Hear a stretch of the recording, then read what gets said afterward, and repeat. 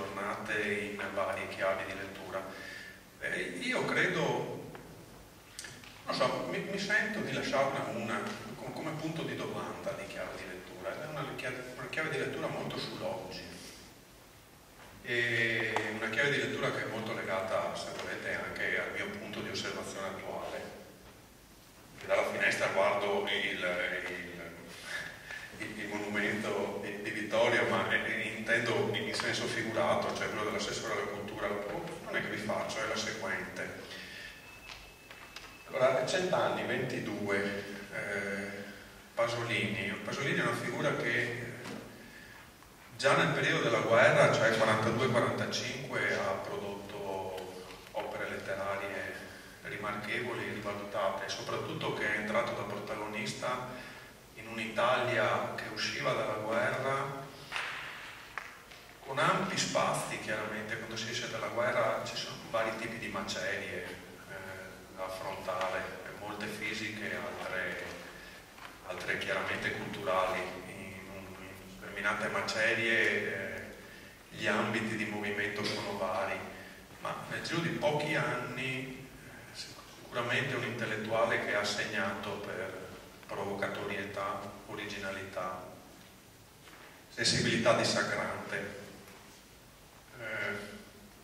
spirito di contestazione, spirito di provocazione, lungimiranza nella lettura di, quel, di, di qual era il percorso che stava intraprendendo l'Italia. E attenzione, con opere artistiche oltre che letterarie, già prima dei suoi 30 anni.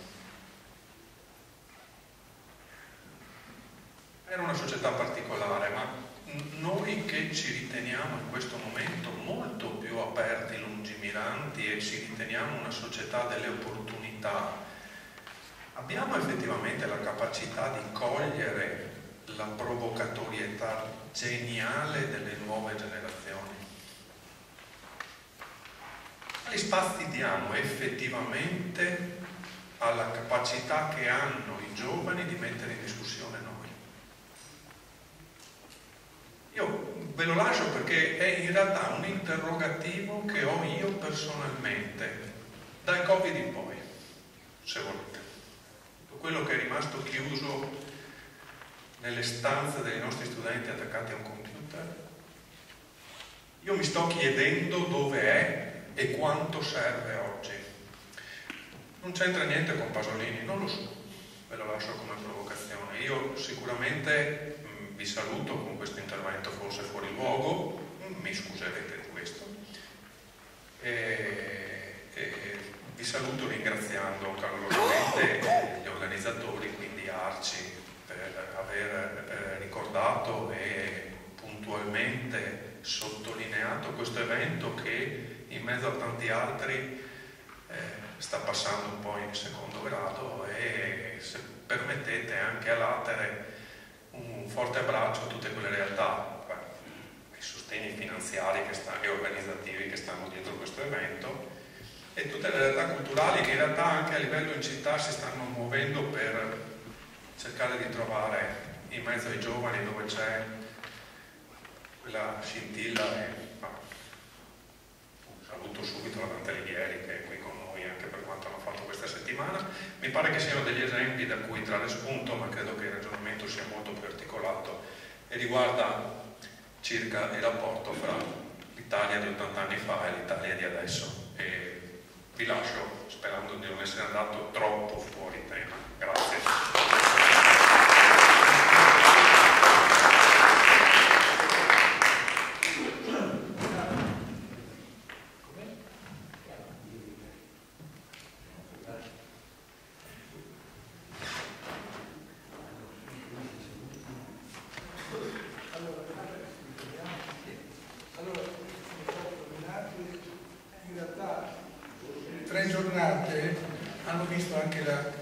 Collaborazione di altri enti, oltre all'Accademia che ci ospita, anche della Dante Alighieri, che è qui rappresentata dalla Presidente Rigobello, che se vuole portare il suo saluto, visto che poi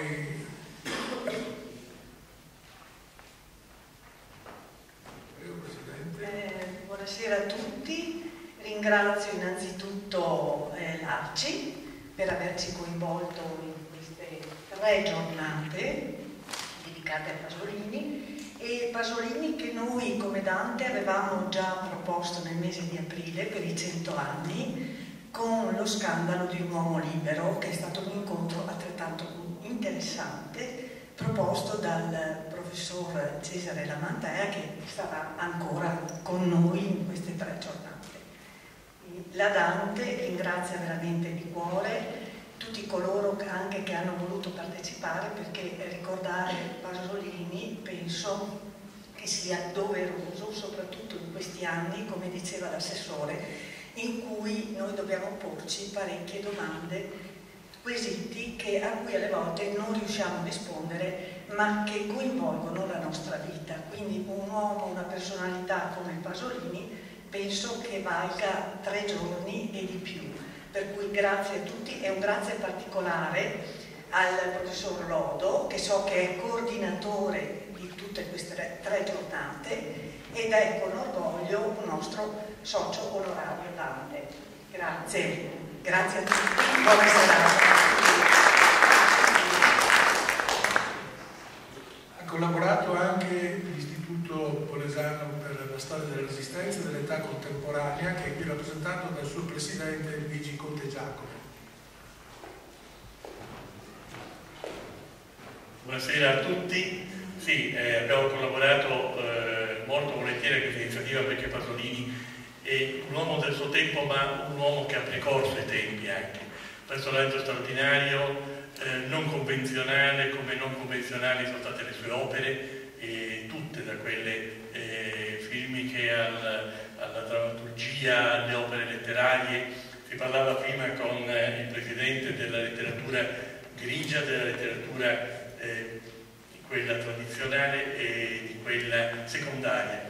Oltre a questo ci sono anche le fonti su Pasolini che ci parlano di lui, che ci eh, trasmettono in modo ancora più diretto delle opere stesse, perché le opere stesse ci trasmettono soprattutto pensieri, pensieri filosofici, pensieri eh, eh, che ci tradiscono la cultura straordinaria di Pasolini. Le fonti, le lettere, le epistole, le, le annotazioni che aveva eh, nei suoi diari, eccetera, sono eh, ulteriore informazione su lui ci trasmettono l'uomo, l'uomo in, in, toto, e anche le debolezze umane, anche il, il suo, eh, la sua concezione della diversità è vista come un arricchimento. E, Pasolini era talmente sfaccettato nelle sue, eh, nelle sue azioni, nel suo pensiero, che eh, tutto quello che ha, che ha, fatto ci è servito di insegnamento. Lui è, il, è stato oltre le convenzioni assolutamente, sia come modo di vita che come opere. E il, eh, non condivideva alcune scelte di allora, anche se lui capiva i giovani, capiva eh, quelle cose di cui ci ha, eh, fatto cenno adesso, eh, che ha parlato prima di me, la condizione dei giovani e il modo dei giovani diverso di approcciarsi al, al, agli eventi, all'arte, alla, alla letteratura, al cinema. Lui li ha precorsi, li ha capiti e anche se non è molto troppo presto per riuscire a sviluppare appieno tutto il suo pensiero. Quindi eh, grazie a chi ha voluto organizzare, grazie all'Arci e a chi ha collaborato con l'Arci nell'organizzare questi incontri su Pasolini, perché eh, meritava veramente di essere ricordato nelle, nei suoi vari campi di interesse. Grazie.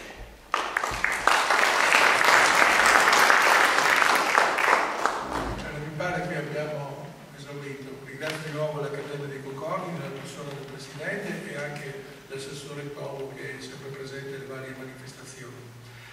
Per parte mia, solo prima di iniziare la mia parte di, di discorso, eh, trovo insomma, abbastanza importante il fatto, come è detto anche in uno stampato che, che circola insieme con il depliano illustrativo degli incontri, è interessante il fatto che tante persone nel nostro Polesine si siano mostrate o interpellate o anche spontaneamente, una volta che hanno saputo che c'era in, corso la preparazione di questi incontri, abbiano mostrato tanto interesse e lettura e conoscenza dell'opera di Pasolini. Certo, probabilmente non da specialisti come appunto ricordava prima il Presidente Puniolo, però da appassionati lettori e credo sia importante anche registrare questo fatto. E nella nostra provincia c'è un'attenzione per fenomeni culturali di portata nazionale e non solo nazionale come questa, che meritano di essere sottolineati, ecco, considerando che ogni tanto eh, si pensa di essere un po' in, in seconda fila rispetto ad altre realtà culturali.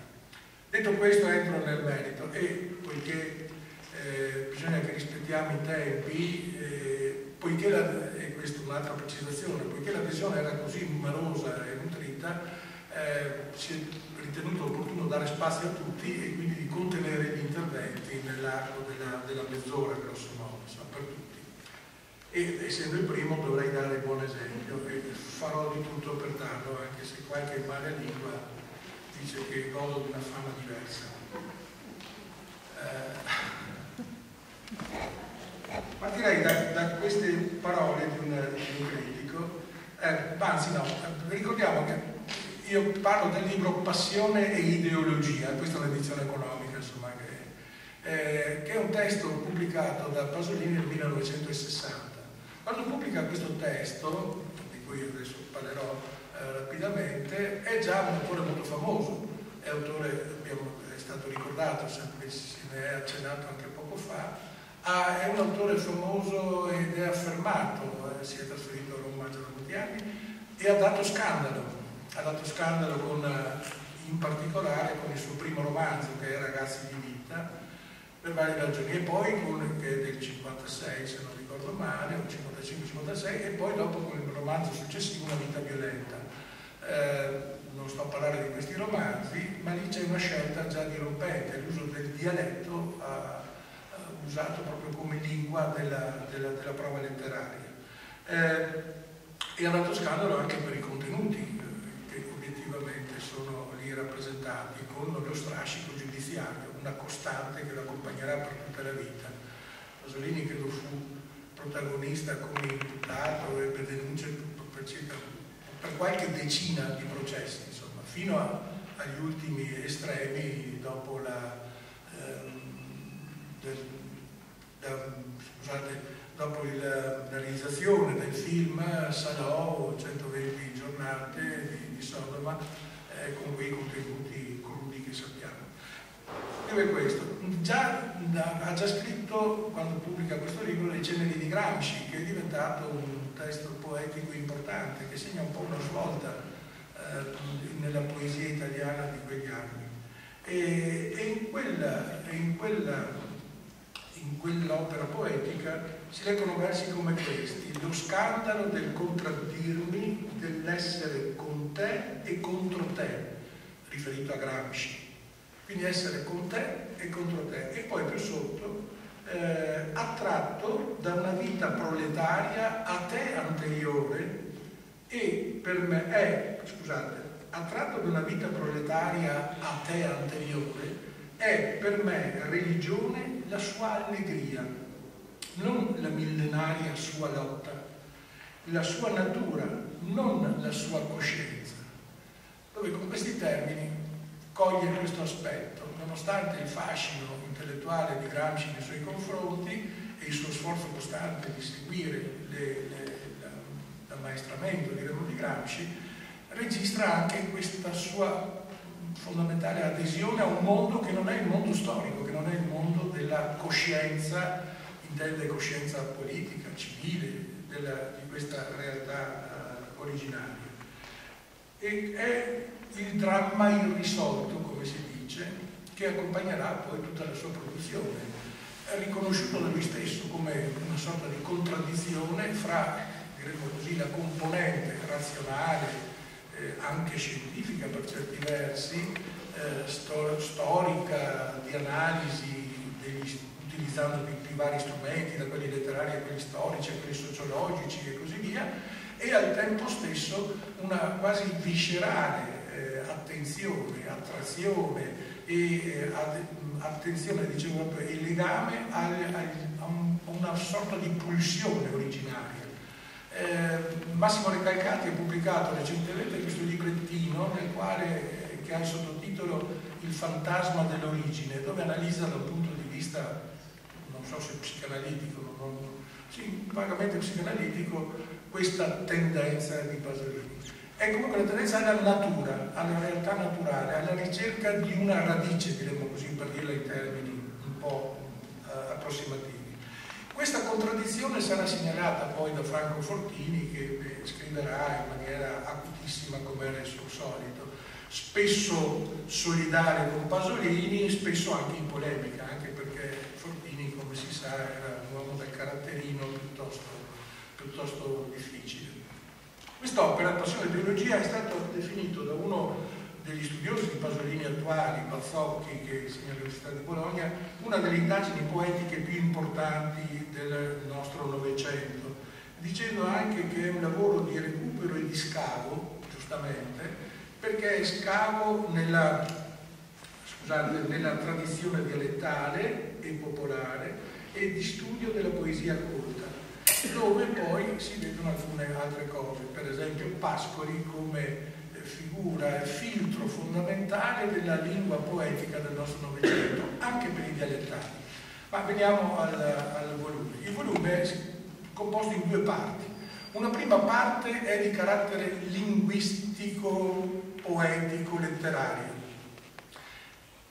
A sua volta suddivisa in due parti. La prima, una serie di eh, una, anzi una rassegna vera e propria della poesia dialettale e della poesia dialettale di tutte le varie parti d'Italia. Una seconda parte dedicata invece alla poesia popolare. Questa è la prima parte che si compone di queste due, chiamiamole così, sottoparti. Poi c'è una seconda parte del volume che, che, è tutta una serie di interventi critici, di eh, saggi, da Pasolini dedicati ad autori del Novecento una noterella su Carducci, ma poi tutti gli altri sono gli autori del Novecento, i più importanti poeti del nostro Novecento. Naturalmente analizzando la loro produzione fino a quella data, cioè al 60. Eh, si conclude questa rassegna per esempio con Zanzotto, che allora era agli inizi, diremo, era il primo Zanzotto, diremo così, quello che poi eh, si affermò. Eh, pur con fatica, ma che poi insomma, sarebbe, avrebbe percorso tutta una sua strada importantissima, tanto da diventare forse la figura di maggior rilievo della poesia italiana del secondo Novecento. Bene, dicevo, è un'analisi, è una rassegna in cui coglie gli aspetti, dicevo, della poesia dialettale, quello che lui definisce il reame, e cioè il sud da Napoli, con pagine e pagine su di Giacomo, su Carlo Ferdinando Russo e così via, fino alla Sicilia eh, con gli autori importanti di quella dell'isola e uno degli aspetti che di volta in volta richiamerò è qualche frase, qualche cenno che estrapolato, quasi sradicato dal, dal contesto in cui andrebbe inserito, però coglie alcuni tratti che mi sembrano significativi. Intanto per spiegare bene lo stesso titolo del, del, del libro, passione e quindi tutto un contenuto che va dall'interesse, dalla curiosità, al movimento fino alla componente emotiva, che per lui è costantemente presente, e ideologia, cioè il complesso di idee, criteri di interpretazione della realtà desunti da pensatori storici e in particolare ecco, attraverso la grande edizione gramsciana. E nella sua analisi è costante il riferimento nell'analisi dei testi presi in esame, de, delle poesie dialettali che egli considera, è sempre costantemente presente il riferimento alla società in cui quei poeti dialettali vivono e il legame costante che egli istituisce fra quei linguaggi, quelle scelte espressive, quelle forme metriche che essi adoperano, quel linguaggio, quel lessico, quella grammatica, eccetera, con il momento storico, mostrando come fondamentalmente la poesia dialettale sia sempre una poesia in ritardo, come si dice, per tutta una serie di ragioni che poi cercherà di spiegare. E qui per esempio si leggono frasi come queste. È il secondo romanticismo che con il realismo verdiano è la più importante componente della poesia dialettale del primo Novecento. Ora chi ha letto e ha familiarità con i poeti dialettali eh, sa che in linea generale questa, questa affermazione eh, ha un suo valore. Ma poi si inserisce su questo, a partire dagli anni 20, l'influenza di Pascoli. Quel Pascoli che è un filtro straordinario per la sua importanza, al di là degli aspetti più corrivi, più insomma, volgarmente conosciuti, ma per il suo uso linguistico, per la sua annessione, diciamo così, al territorio del linguaggio poetico di tutta una serie di termini di sapore dialettale, popolare, che, e anche di espressioni vere e proprie, eh, oltre alle voci onomatopeiche e così via, che fino a quel momento nella poesia italiana la tradizione aulica, letteraria, alta, raffinata, eh, nobile del nostro territorio non erano fatte. E il pasqualismo, dice, sarà importante eh, per la letteratura dialettale e con un vero esercito di pascoliani, di autori dialettali e i dialetti più che dalla lingua verista ora attingono a partire dagli anni 20 alla lingua pasqualiana. Analizza poi, dicevo, la letteratura del sud, tutte le varie regioni, passa in rassegna anche eh, Roma e Milano e, e, poi passa anche in rassegna le, eh, le regioni del nord, dove, eh, e qui ho appuntato, ma non spaventatevi, leggerò solo alcune di queste cose, dove appunta una affermazione di un autore di poesia piemontese che io leggo adesso in piemontese, ma è una frase solo, quindi ma si capisce insomma. All'Echair, in partenza, è chiaro in partenza, castrata di un preconcetto e il crede che la poesia cosiddetta dialettale deve essere sempre popolare. È un preconcetto che la poesia dialettale sia sempre popolare, infatti non è vero. E infatti Pasolini poi svolge tutti i suoi ragionamenti per dimostrare come le due cose non coincidono affatto così, simpaticamente si può pensare che sia così, ma così al fatto non è. Detto questo, analizza, dicevo, tutta la poesia settentrionale, poesia dei, dei poeti dialettali del settentrione e ancora, ad esempio di quello che ho detto, ma ripeto solo questo, quando parla della, della poesia dell'Emilia e del, di un poeta di Parmigiano, cioè Renzo Pezzani, tutti chi ha una certa età è un nome che trovavamo nei libri delle elementari, eh, forse delle medie, Pessani dice appartiene in pieno alla fase moderna delle letterature dialettali, se non a quella modernissima, essendo in lui l'uso del dialetto non più una finzione popolaresca, il regresso dentro lo spirito di un popolano, ma una finzione, abbiamo visto, piccolo borghese il ritorno a un mondo dialettale più ai margini della lingua che nel cuore del popolo. L'affermazione che richiede una riflessione notevole, eh, la cito semplicemente, non abbiamo certo il tempo di stare qui a vedere, approfondire l'aspetto, ma semplicemente per eh, dire, esemplificare quell'affermazione che facevo poco fa. Questo costante riferimento e legame da lui istituito sempre fra l'analisi di tipo letterario, linguistico e la realtà storico-sociale e la cultura storico-sociale prodotta in precedenza e nel periodo in cui i poeti dialettali si collocano. Eh, valga questo, altri esempi del risparmio, eh, anche con il problema dell'italiano, cioè non esiste diciamo, una lingua nazionale italiana, se non quella aulica, letteraria e così via.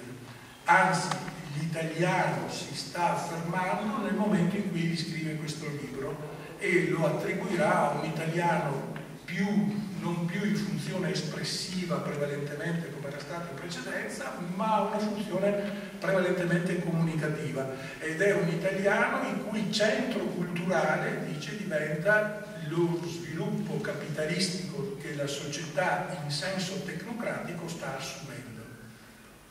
E quindi da quel centro culturale, cioè quello che è un centro di potere, ovviamente nel suo c'è sempre la visione marxista, sia pure filtrata attraverso i suoi criteri sempre a suo modo, ma quello che è un centro di potere è anche un centro culturale dal quale si irradia poi una particolare forma linguistica, così come storicamente è avvenuto eh, in, in, in, tanti, in, tanti, modi e in tante società diverse. Eh, continuando questa analisi, poi il Pasolini eh, presenta una serie di elementi e altre affermazioni che tiro fuori così, ripeto, in maniera un po' violenta, direi. Quando parla della poesia romana e parla di quella anche del Belli, che dice forse è l'unico in tutta la tradizione della poesia romana che dà voce al parlante popolare e se ne esce con affermazioni di questo genere. La romana passionalità sottesa a quel cinismo che è un prodotto dei compromessi secolari con un cattolicesimo seicentesco di casa, è quella che poi fa nascere il sonetto del Belli. E chi ha letto attentamente i sonetti del Belli credo che ritrovi davvero questi elementi.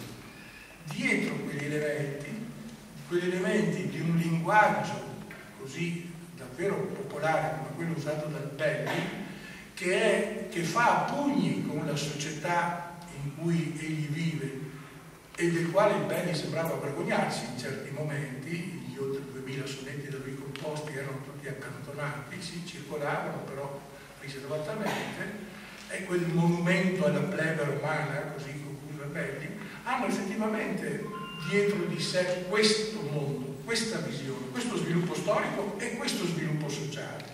Quindi la passionalità, il cinismo dei compromessi secolari, del cattolicesimo seicentesco, il barocco romano, che ha tanti altri aspetti, ma che si rivela anche in questo, e quindi che si traduce in questa popolarità particolare e la grandiosa, ecco perché, la grandiosa costruzione linguistica del Belli è nel tempo stesso una testimonianza politica.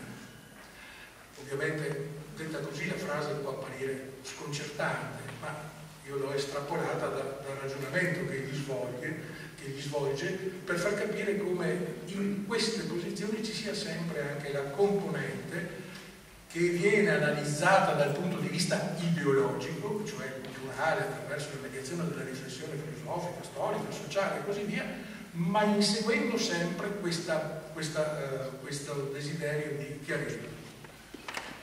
La seconda parte di questa prima grande parte è dedicata alla poesia popolare e qui c'è, il capitolo introduttivo che analizza le varie le varie posizioni che si sono venute delineando negli studi della poesia popolare, a cominciare da Tommaseo per passare attraverso Costantino Migra, di cui mette quello di Cavour, per capirci, e della contessa Castiglione. Eh, Migra che, di cui mette in luce la, la chiarezza dire, teorica con la quale inquadra il problema e poi le, le, ricerche di Alessandro D'Ancona, eccetera, con un'analisi dettagliatissima di tutte le varie forme metriche che assume la poesia popolare. Attenzione, non siamo più in campo dialettale. In campo dialettale ci sono fior di poeti, letterati, colti. Qui invece la poesia popolare. E la poesia popolare è quella che si intende genericamente, banalmente, nasce dal popolo, ma dovrebbe anche essere per il popolo, come espressione del popolo e destinata al popolo. Eh, analizza le varie forme, lo strambotto, lo stornello, la canzone, eh, e i versi del decasillabo, il centenario e così via, mostrando come tesi di fondo come ci sia un passaggio di forme metriche fra sud e nord, con una caratterizzazione di massima, che la poesia popolare meridionale è di tipo lirico, effusivo, sentimentale, mentre quella settentrionale è prevalentemente, non vanno presi in termini assoluti questi termini, prevalentemente di tipo narrativo o epico-lirico, che è questa un'altra caratteristica che già Nigra aveva individuato. Definisce il problema, c'è una larga parte di inquadramento teorico che discute, misurandosi con coloro che se ne erano occupati in precedenza, e dicendo anche un'altra cosa interessante, chi, chi studia la letteratura italiana ci si ritrova abbastanza facilmente, che è fra 3 e 400 che eh, può nascere la poesia popolare. Nasce cioè il concetto di poesia popolare, perché è il momento in cui una classe culturale di umanisti di livello superiore sa vedere questo distacco e coglierne il senso anche dal punto di vista eh, storico-culturale. Semplifico estremamente per, per ragioni di tempo. Poi c'è una, una, rassegna regionale, anche qui analizza tutte le varie, le più importanti manifestazioni di poesia popolare, con osservazioni per esempio interessantissime, per esempio questa, che a pensarci è anche abbastanza dire, facilmente comprensibile, nella, in Toscana, in cui è la stessa Lang, qui bisogna fare una precisazione, insomma lui fa riferimento ai termini di De Saussure, grande linguistica, linguista svizzero, che aveva distinto fra la langue, cioè il sistema dire, sincronico in cui tutti parlano la stessa lingua. Io adesso mi sento un linguista, mi, mi strozza, insomma, però è per capirci. La langue che è l'uso del sistema linguistico e la parola che è l'uso, non dirò individuale, ma specifico di volta in volta utilizzato all'interno di questa cosa. Quindi dice, ehi, solo in Toscana c'è la coincidenza c'è questa uh, identità fra della langue della, della, del cantante popolare e del poeta colto. Cioè solo in Toscana, per ragioni che poi conosciamo, ex post, per dire, no? C'è questa coincidenza, perché in realtà nelle altre regioni questa è sempre meno evidente, anzi in certe regioni c'è proprio una divaricazione totale. Il sistema linguistico le sue caratteristiche, i suoi criteri e così via, c'è questa coincidenza solo in, Toscana. Il poeta dialettale, ripeto, non è popolare ed è anche un poeta di elite, addirittura nel corso del Novecento questo vediamo. Addirittura, questa è la mia personale idea, alcuni dei nostri migliori poeti del Novecento sono dialettali. E non solo per una consolidata tradizione critica, ma credo anche che un po' alla volta questo si rivelerà faccio un nome che a me è molto caro, quello dell'Ormagnolo Raffaello Baldini, che di sicuro è sconosciuto, ma che è una delle voci più, più straordinarie eh, della, della, poesia dialettale. Ma è ovvia, è diventata una poesia di tipo, come dire, eh, di scelta espressiva. E chi ha realizzato, si è occupato di queste cose sa quanto questo sia diventato importante. La tradizione popolare italiana vive un momento particolare perché, perché c'è un passaggio storico. Quella che era l'espressione del popolo era sempre un'espressione passiva, avveniva sempre attraverso una linea, egli dice, discendente. Dal livello colto passavano forme metriche, espressive e così al livello più basso, che le registrava, le faceva proprie e le, e le utilizzava. E quindi la poesia assumeva questo elemento. Quando invece è o in forma anonima o in forma più o meno individuata, un'espressione che nasce nel popolo e quindi assume una, una, una direzione ascendente, allora lì la poesia popolare diventa, se non innovativa, ha comunque uno suo svolgimento, un suo passaggio, una sua evoluzione. E sono eh, tutta una serie di elementi. Poi c'è un capitolo dedicato ai canti militari e al valore che essi hanno e al fatto che essi in qualche modo eh, come dire, riflettono la cultura piccolo borghese e così via, e poi un po' alla volta passeranno con il loro stilemi, con le loro espressioni, con il loro eh, andamento anche ritmico nelle canzoni del, del fascismo, anche concettualmente, insomma, quindi questo passaggio. E quindi più che espressioni popolari sono espressioni di una cultura non popolare ma piccolo borghese, quella che si crea in seguito alle vicende belliche e in seguito agli avvenimenti successivi. Per quanto riguarda la resistenza fa un'altra osservazione interessante, e cioè non nascono durante la resistenza, durante la lotta partigiana dei, dei veri, prevalentemente dei canti popolari. È sempre un canto popolare però che è originato da una idealità, da una cultura di tipo piccolo borghese. Quando dice piccolo borghese intende proprio una classe sociale, ma anche una, dire, una visione culturale della società, perché è quella che si è affermata da noi e come conseguenza dello sviluppo della nostra nazionale, della nostra cultura e così via. E recupero una citazione che gli fa a proposito di Gramsci, a proposito del folklore, eh, nella quale viene messo in luce proprio questo aspetto. Chi eh, vuole capire certi processi di fondo, cioè non lo svolgimento delle guerre, delle tappe, eccetera, della storia, diciamo così, veneziali, insomma così, delle, ma vuole capire quali sono gli, i meccanismi che nel profondo si manifestano e quindi permettono di capire meglio poi quello che a livello più superficiale avviene e deve misurarsi con queste idee. Non dico queste esattamente in Pasolini, in campo culturale e letterario sì, ancora oggi sono utilissime e certamente sorprenderebbero qualcuno che magari fa la propria preparazione sui tradizionali manuali e così via. Eh, ma al tempo stesso anche per la visione storica. Eh, bisogna leggere questo per capire come si sia affermato un certo svolgimento della nostra vita nazionale e anche per darsi conto di, di quello che ne è derivato anche nel secondo dopoguerra. Quindi il discorso della poesia popolare che occupa questa seconda parte della prima parte, insisto, ha una conclusione poi che è un po', come dire, ve la leggo perché merita.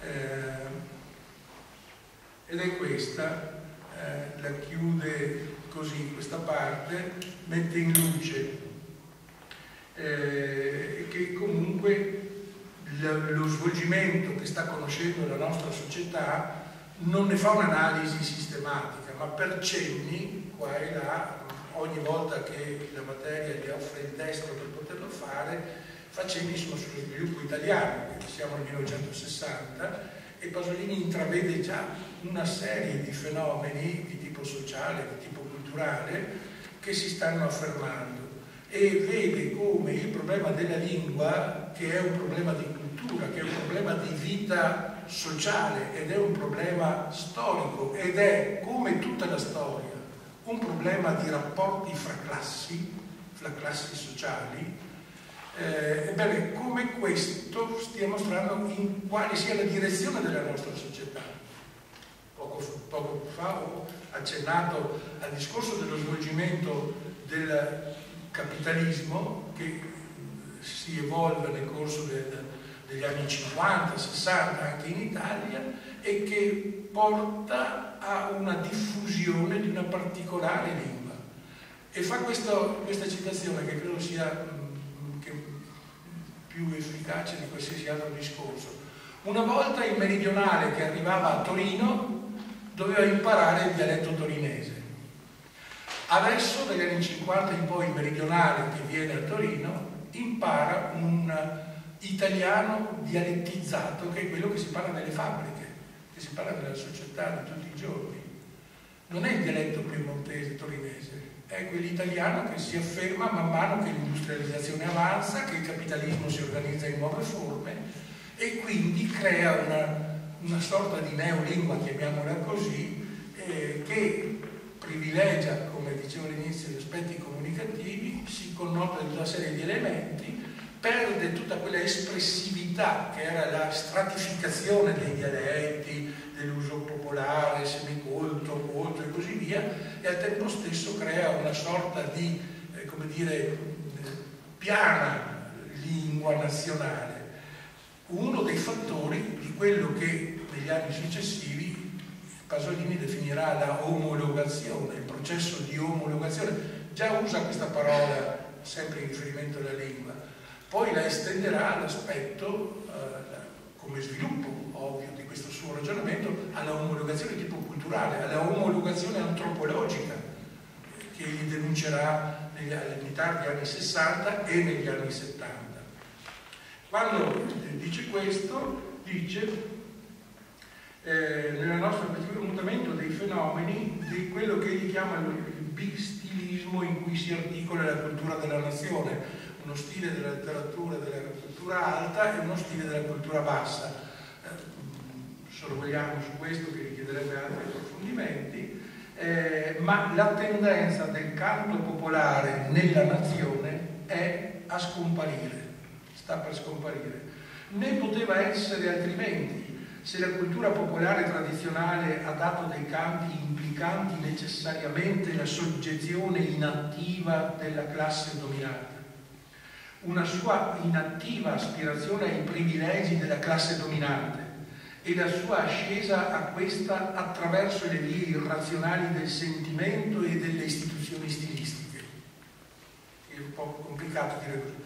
C'è questo atteggiamento passivo e tutto sommato l'espressione popolare è quella di aspirare a godere della bellezza della classe, della bellezza, degli agi della, della classe dominante.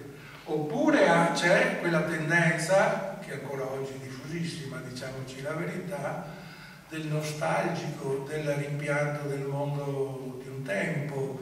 Eh, spesso il dialettale si confina dentro questa questa campana, questo, questo recinto della nostalgia del, del, mondo, degli oggetti, dei, dei, sentimenti presunti più o meno puri di quelli di oggi, non credo che ci fosse chissà quale purezza superiore a quella nostra, ma insomma, comunque sia, ma spesso è così, perché? Perché c'è questo processo c'è questo processo che si trascina e che condiziona ideologicamente al di là, ben al di là di quello che il poeta che scrive materialmente crede.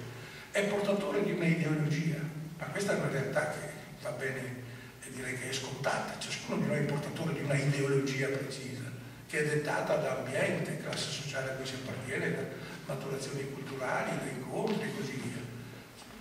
Intendendo come ideologia complesso delle idee alle quali ci riferiamo nella nostra vita insomma, e alle quali più o meno conformiamo i nostri pensieri. Bene, dicevo, c'è questo, eh, un'alternativa Il popolo moderno, invece, ecco il passaggio, cosciente di sé, quella è la tradizione. Il popolo moderno, cioè quello che ha, dire, assimilato le idee socialiste, marxiste, rivendicazione dei diritti, eccetera, il popolo moderno invece cosciente di sé in quanto classe e politicamente organizzato verso la conquista del potere, tende ad abolire l'irrazionale soggezione in cui per tanti secoli era vissuto.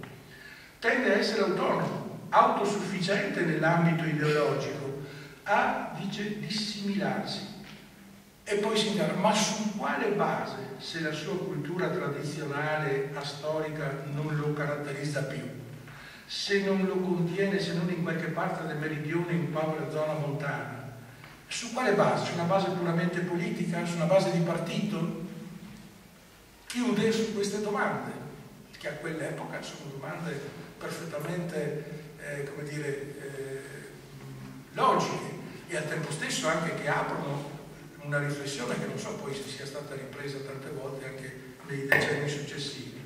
Dissimilazione dunque, e poi anche assimilazione fra le culture, fra la cultura alta e le culture popolari, con una frequenza intensissima insieme di simpatia e di lotta del rapporto che esiste fra le due. E chiude con queste due frasi. La poesia popolare, come istituzione stilistica a sé, è in crisi la storia in atto, è quello che sta avvenendo ed è la chiusura di, che io trovo davvero straordinaria di chi ha analizzato un fenomeno, ne sta vedendo e vivendo personalmente l'evoluzione e però non è ancora in grado di trovare una risposta ideologicamente persuasiva, ideologicamente eh, motivata. Dico lo personalmente perché Pasolini fin dagli anni 40 scrive poesie in dialetto.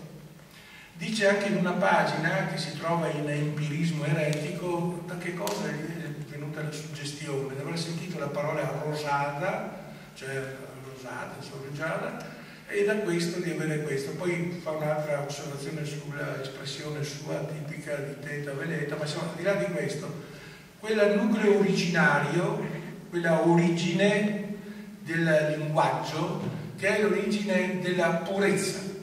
Pasolini avrà questa visione anche nella sua ricerca compulsiva, viscerale, eh, sessuale, eh, e al tempo stesso questa consapevolezza di esserne, non, non, diciamo schiavo, ma comunque di esserne condizionato in maniera eh, irrefrenabile.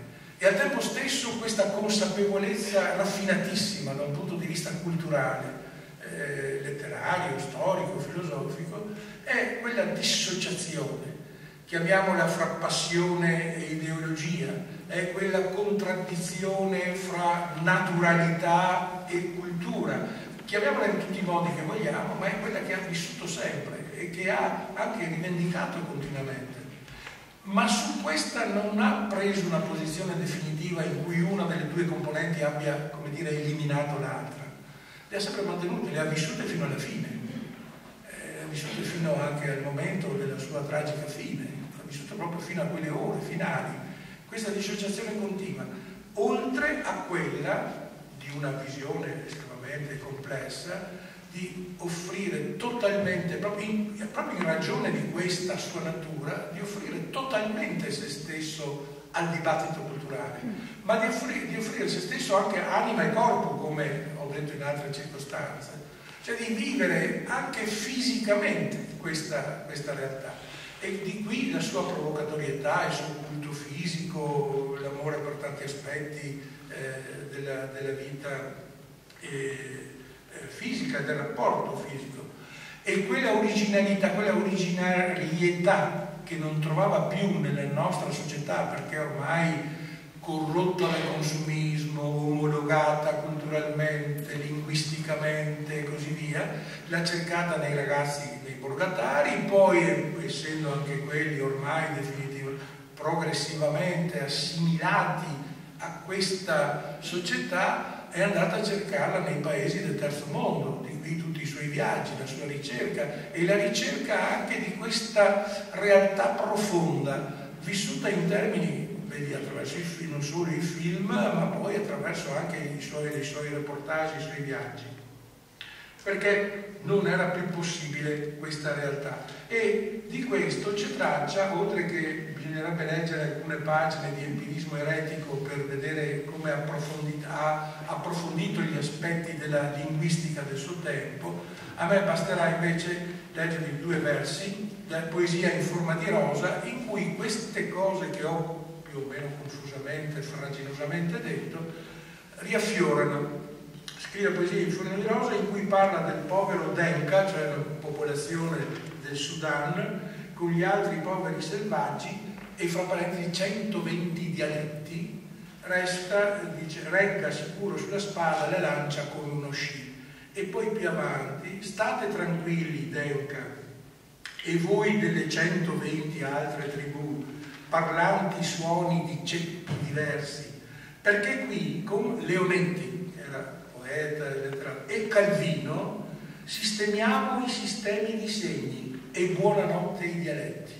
In questi due versi c'è tutto un dibattito culturale degli anni 60, l'affermazione dello strutturalismo, lo studio dei segni, in cui tutta la realtà, dal linguaggio a tutta la realtà è segno di qualche cosa, e questo buonanotte i dialetti, detto in termini un po' sarcastici, ironici nei confronti eh, di questa nuova cultura che è tipica del neocapitalismo che intende superare il marxismo con questa interpretazione ma che in realtà perde queste realtà umane profonde.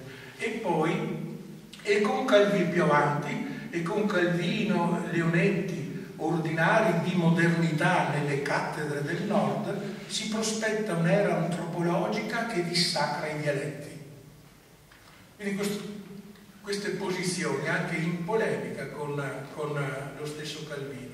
Nella seconda parte del libro, dicevo, c'è una serie di saggi critici che riguardano appunto la nostra letteratura del Novecento.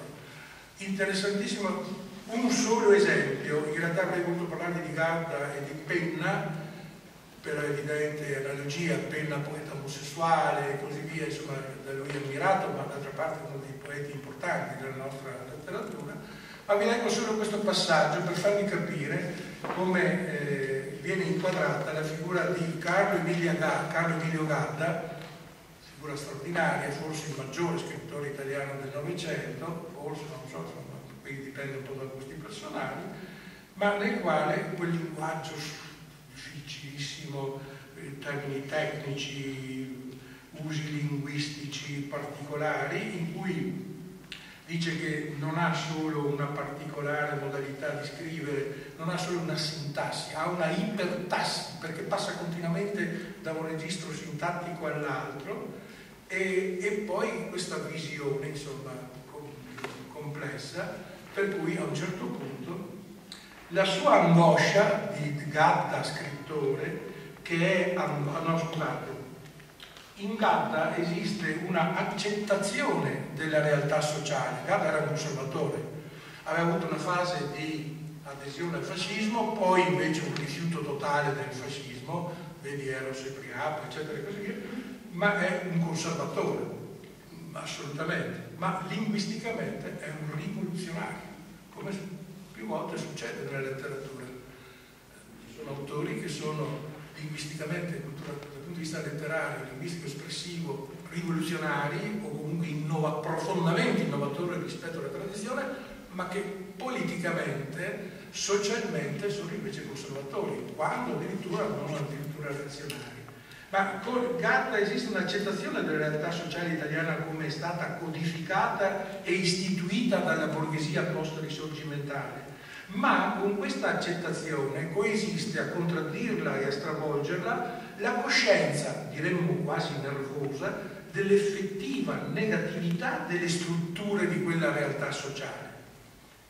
Chi legge il pasticciaccio brutto di Via Merulana le trova quasi fisicamente rappresentate nelle, nelle strade, nelle piazze e nel popolo romano che viene portato sulla scena e il sopravvivente perché c'è il prefascismo di destra, eccetera, il quattro, il suo realismo non può essere prospettivistico, il realismo non è prospettivistico.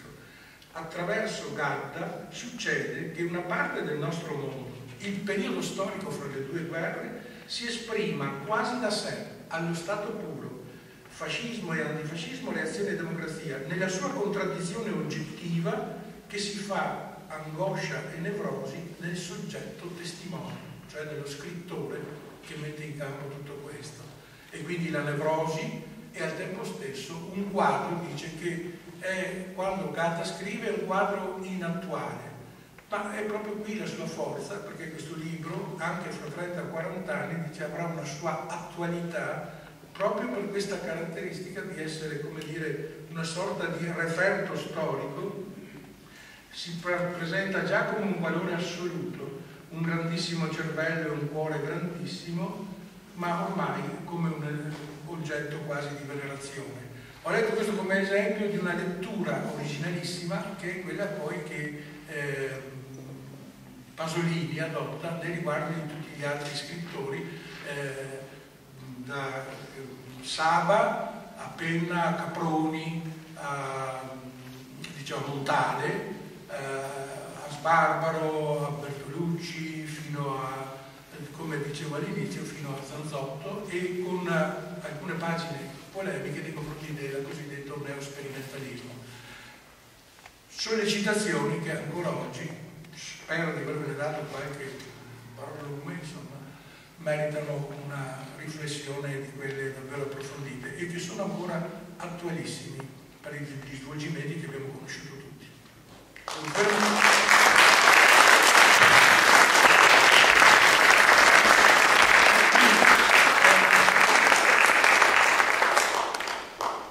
Recuperiamo qualche minuto, adesso è la volta di Ercole Chiari che tratterà il seguente argomento, il mito nel cinema, l'idea e l'editore.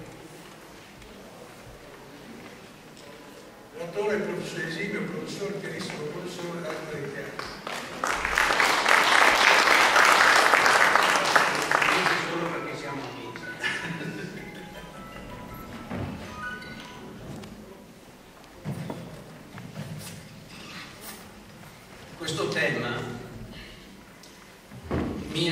assegnato, penso, dall'amico Lotto. Io pensavo originariamente che avrebbe potuto essere collocato dopo l'intervento di Tincani che da, dovrebbe dare una panoramica complessiva della cinematografia di Pasolini. Però mostrare anche un, forma di collegamento da quello che ha detto abbondantemente eh, Lodo, utilizzando questo accostamento passione e ideologia. Perché in, una, in un esame sufficientemente approfondito dei film prodotti da Pasolini, Penso che questo abbinamento, o forse questo contrasto, a mio modo di vedere, si trova pienamente. E cioè una pulsione forte di tipo psicologico, però anche di tipo morale, di tipo intellettuale, che si struttura in una ideologia, cioè in un sistema di convinzioni da trasmettere e da un certo punto di vista conferma con grande forza quella che è la passione. Nello stesso tempo mette in evidenza un contrasto tra l'ispirazione originaria e la realizzazione tecnica. Poi farò qualche riferimento esaminando i due film e spero che abbiate rivisto in questo periodo, perché altrimenti il discorso diventa un po' evasivo. Però vorrei utilizzare anche per inquadrare un po' il mio modo di vedere questo argomento il titolo della relazione che dovrà fare Tincani, cioè un poeta al cinema. Perché qui ci vedo lo stesso rapporto tra l'ispirazione Pasolini, che è un poeta.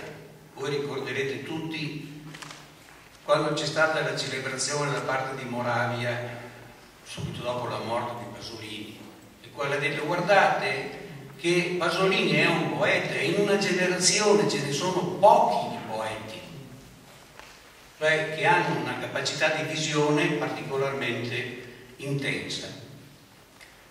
Però è un poeta al cinema cioè che utilizza come modo di espressione non più la parola, anche questa all'interno della sceneggiatura, non più la parola sola, ma la struttura delle immagini, del racconto filmico. Ora, in questo rapporto tra poesia e tecnica cinematografica, pure io vedo una specie di, di diciamo dialettica, che è un termine un po' generico, tra due elementi che a mio modo di vedere non sempre si compongono in forma armonica.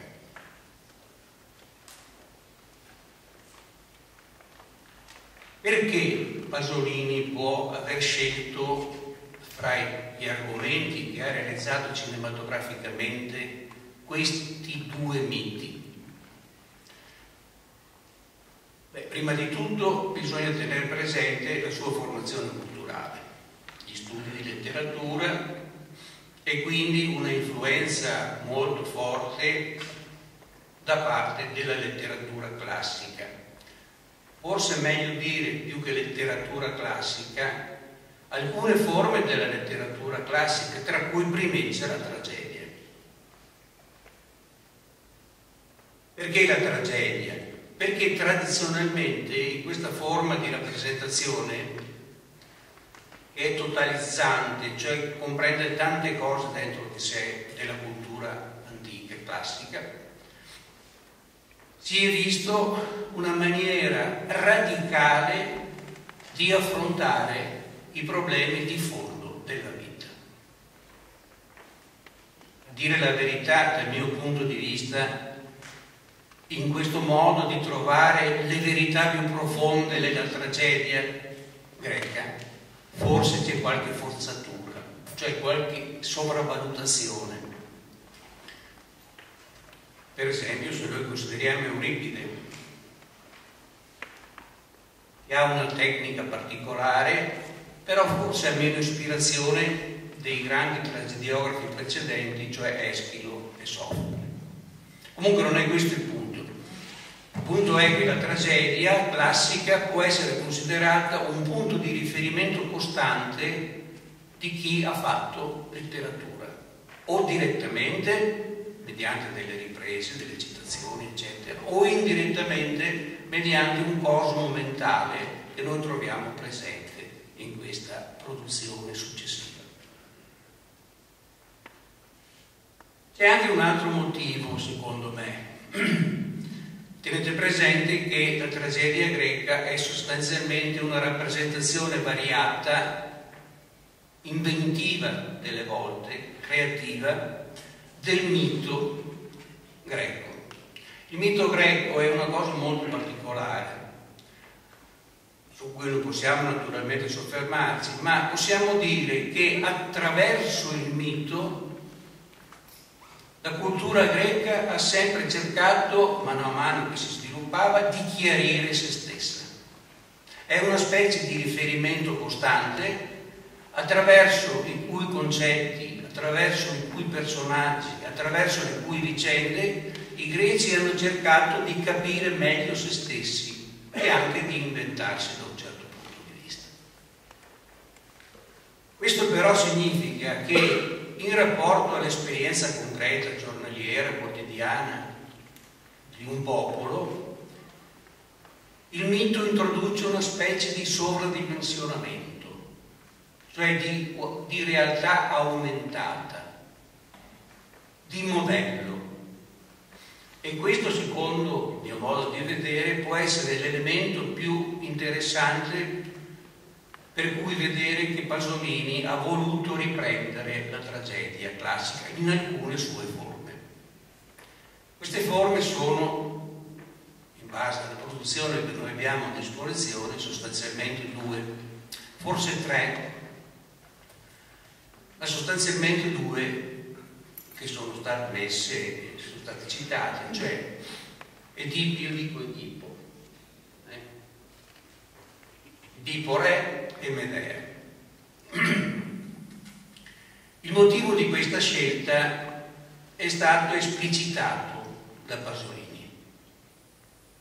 In Edipo Re egli ha voluto mettere in evidenza il tema dell'incesto, che è naturalmente presente nella tradizione culturale greca. Tuttavia non è la base, l'origine della, del cosiddetto complesso di Edipo, che non esisteva nell'antichità. È una costruzione teorica da parte di Freud, utilizzando il mito greco. Non c'era neanche motivo nella società greca per cui si creasse questo complesso, visto come era strutturata la famiglia e come erano allevati i bambini. Comunque questo è un discorso a latere, diciamo. Pasolini comunque sceglie il tema dell'incesto perché lo coinvolgeva personalmente. Voi avete tutti presenti la citazione eh, del, del, della sua dichiarazione per cui egli aveva questo timore o, o questa, questa complicazione mentale nel rapporto con la donna perché pensava che l'atto d'amore con la donna, gli sarebbe sembrato come accoppiarsi con sua madre.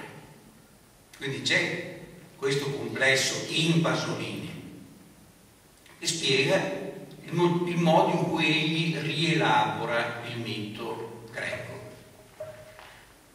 Qui possiamo fare un'osservazione che vale anche per Medea. Si può dire, ma in questa maniera Pasolini utilizza la tragedia greca come un pretesto, utilizza una storia, dei personaggi per dire quello che interessa a lui. Bene, non c'è niente di sorprendente, perché noi sappiamo che i greci, i tragediografi e anche i non tragediografi, hanno continuamente reinventato il mito, vedendo in alcune storie quello che in quel momento poteva interessare.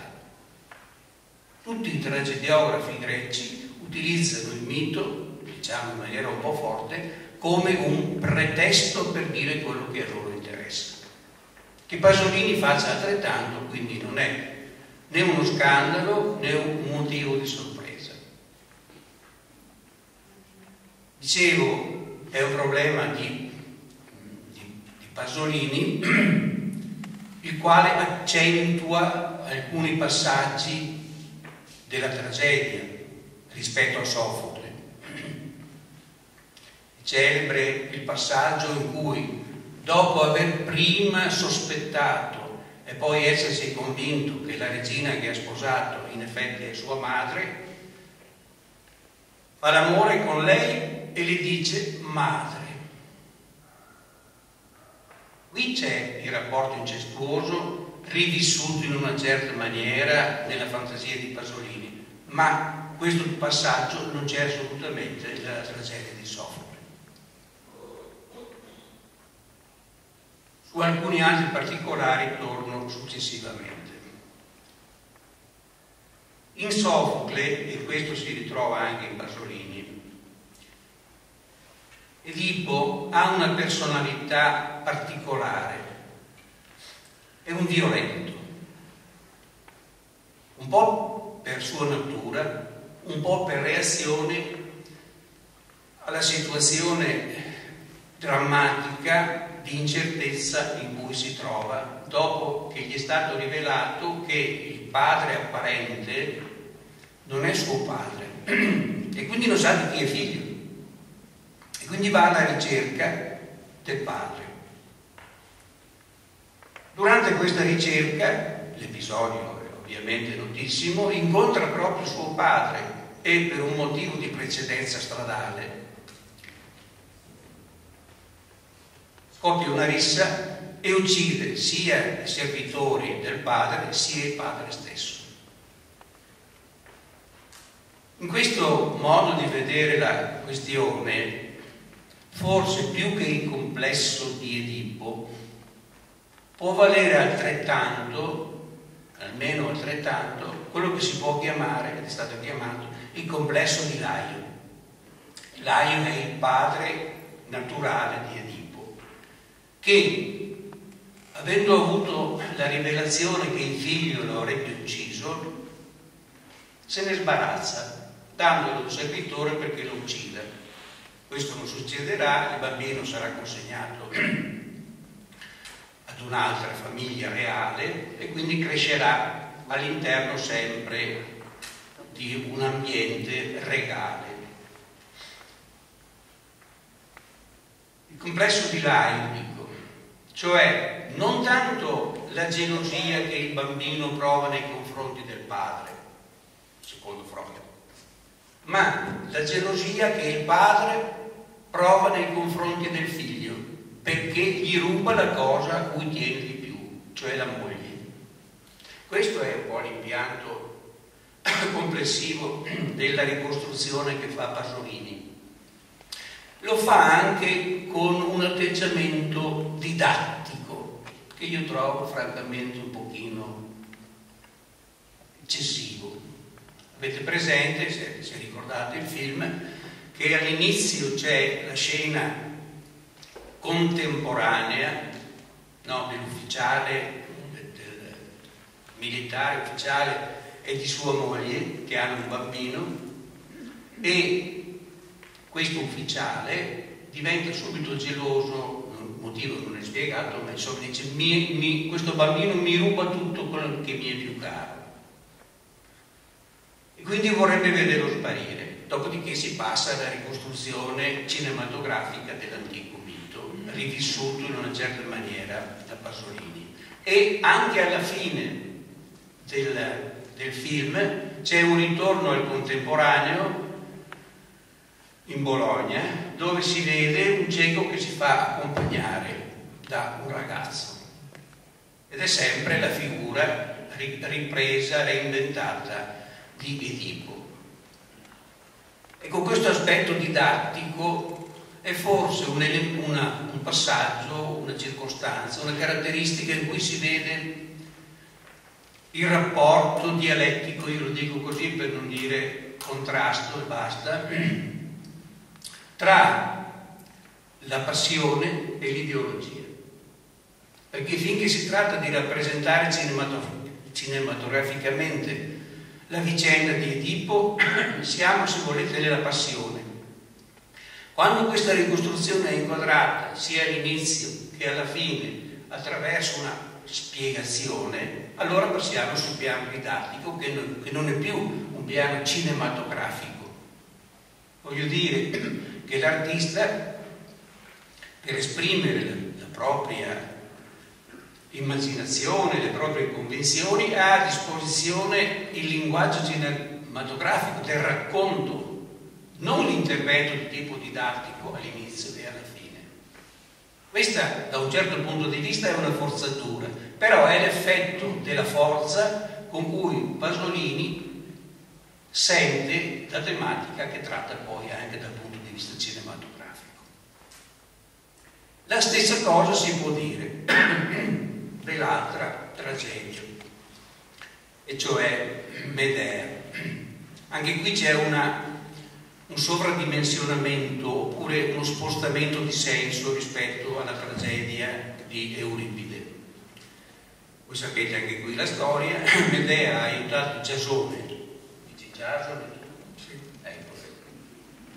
Io dico Giasone, a recuperare, a, a rubare il vello d'oro che gli avrebbe garantito una successione al trono, anche qui c'è tutto una storia mitologica in precedenza che non è funzionale al nostro discorso. E poi Medea lo aiuta a rubare il vello d'oro, però successivamente quando si sono sposati e hanno anche dei figli, eh, Giasone trova un'altra soluzione per sistemarsi personalmente, cioè sposare un'altra principessa ripudiando la prima moglie. Allora, in Euripide noi troviamo il dramma della gelosia, cioè il tradimento e la necessità, l'impeto di punire il traditore. Ed è quello che fa Medea uccidendo i figli.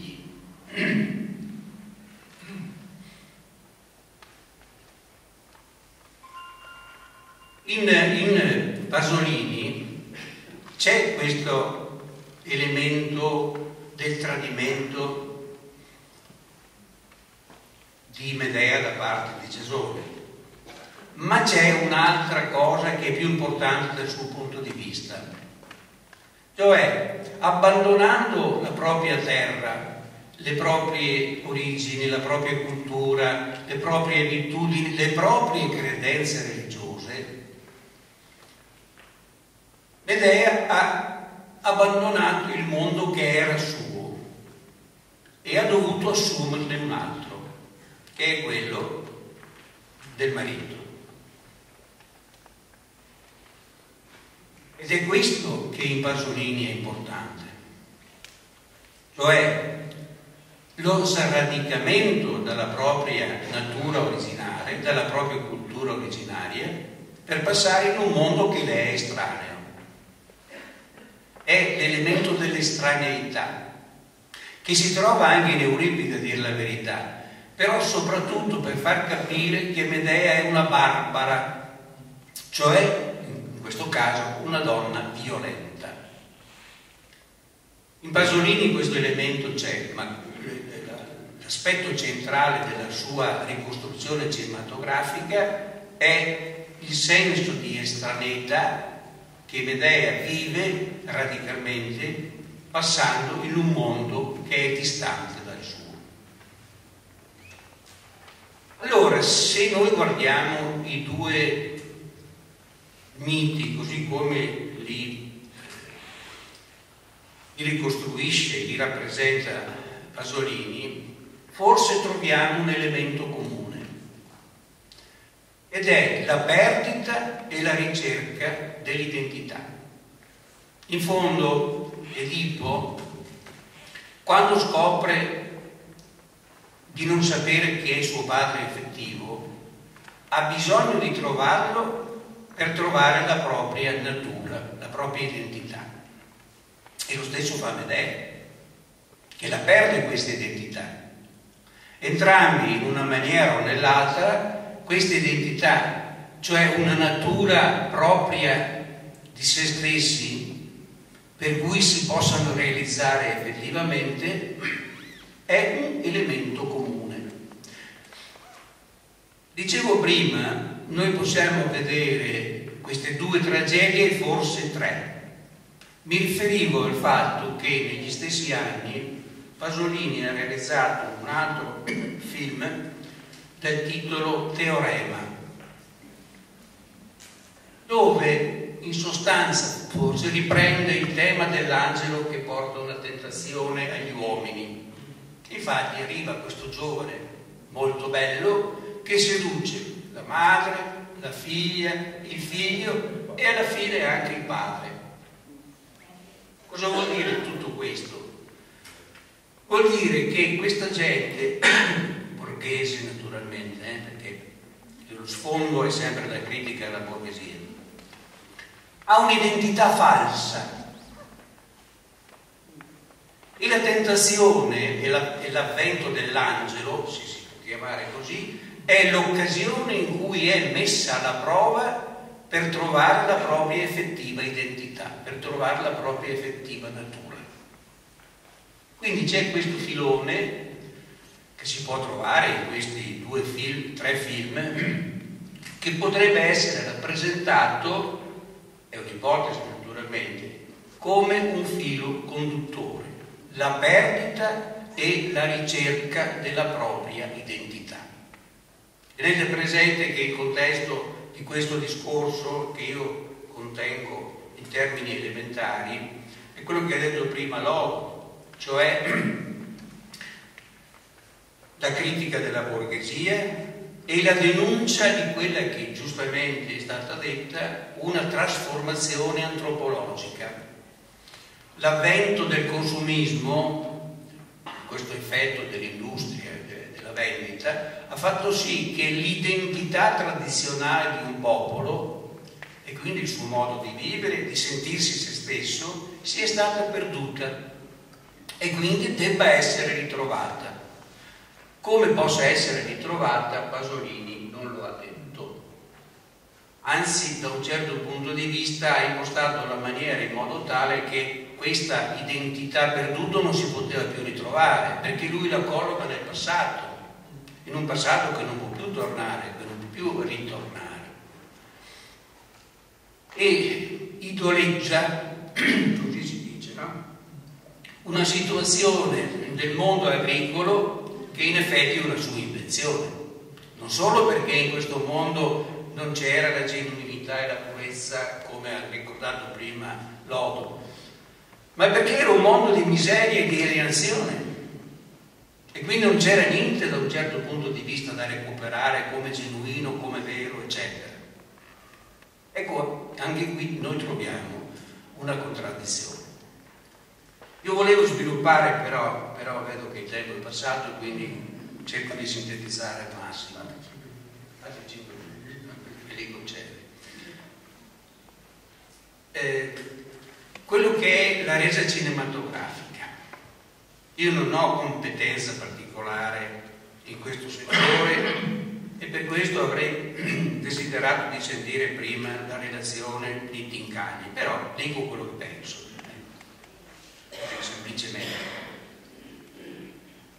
E per dirlo eh, utilizzo una, una, formula che ho trovato eh, nelle, nella, nella fascetta di un libro di una celebre ellenista francese, Jacqueline de Romilly, la quale dice proprio questa è il contenuto, uno dei contenuti fondamentali del suo saggio, che, che comunque è stato tradotto anche in italiano, dice la tragedia greca volta decisamente le spalle al realismo. Perché? Non solo perché l'argomento di fondo di tutte le tragedie greche è il mito, ma perché è la modalità rappresentativa che esce dal realismo. Faccio, due, faccio un esempio eh, rapido. Voi sapete che la tragedia greca è stata analizzata in maniera originale e profonda da Aristotele. Bene, Aristotele dice fra le altre cose che nella tragedia si, si trovano realizzate le tre unità no? di tempo, di luogo e di azione che poi sono state abbandonate nel mondo moderno e anche e soprattutto dopo il romanticismo.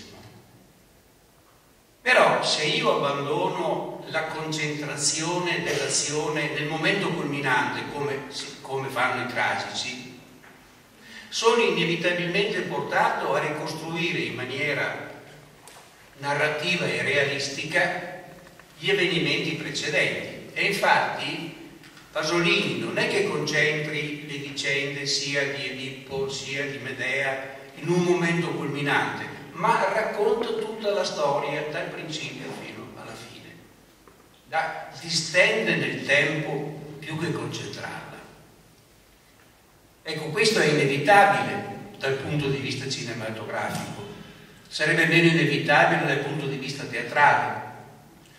Però questo lo conduce inevitabilmente a tutta una serie di rappresentazioni, di eh, vicende che altrimenti nel nella tragedia classica sono semplicemente citate. Faccio un esempio, in Edipo noi troviamo, Edipo Re, una scena che io trovo ben realizzata nel momento in cui Edipo incontra il padre e la sua scorta e poi ne nasce una rissa. Una rissa.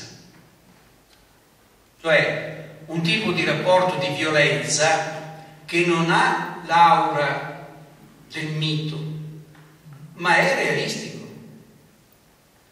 Tra l'altro, più che realistico, certamente realistico, a me ricorda anche la storia degli Orazzi e dei Curiazzi, no? Perché la tecnica mediante cui Edipo ammazza uno dopo l'altro eh, la scorta eh, è, è, come quella del, degli Orazzi e dei Curiazzi.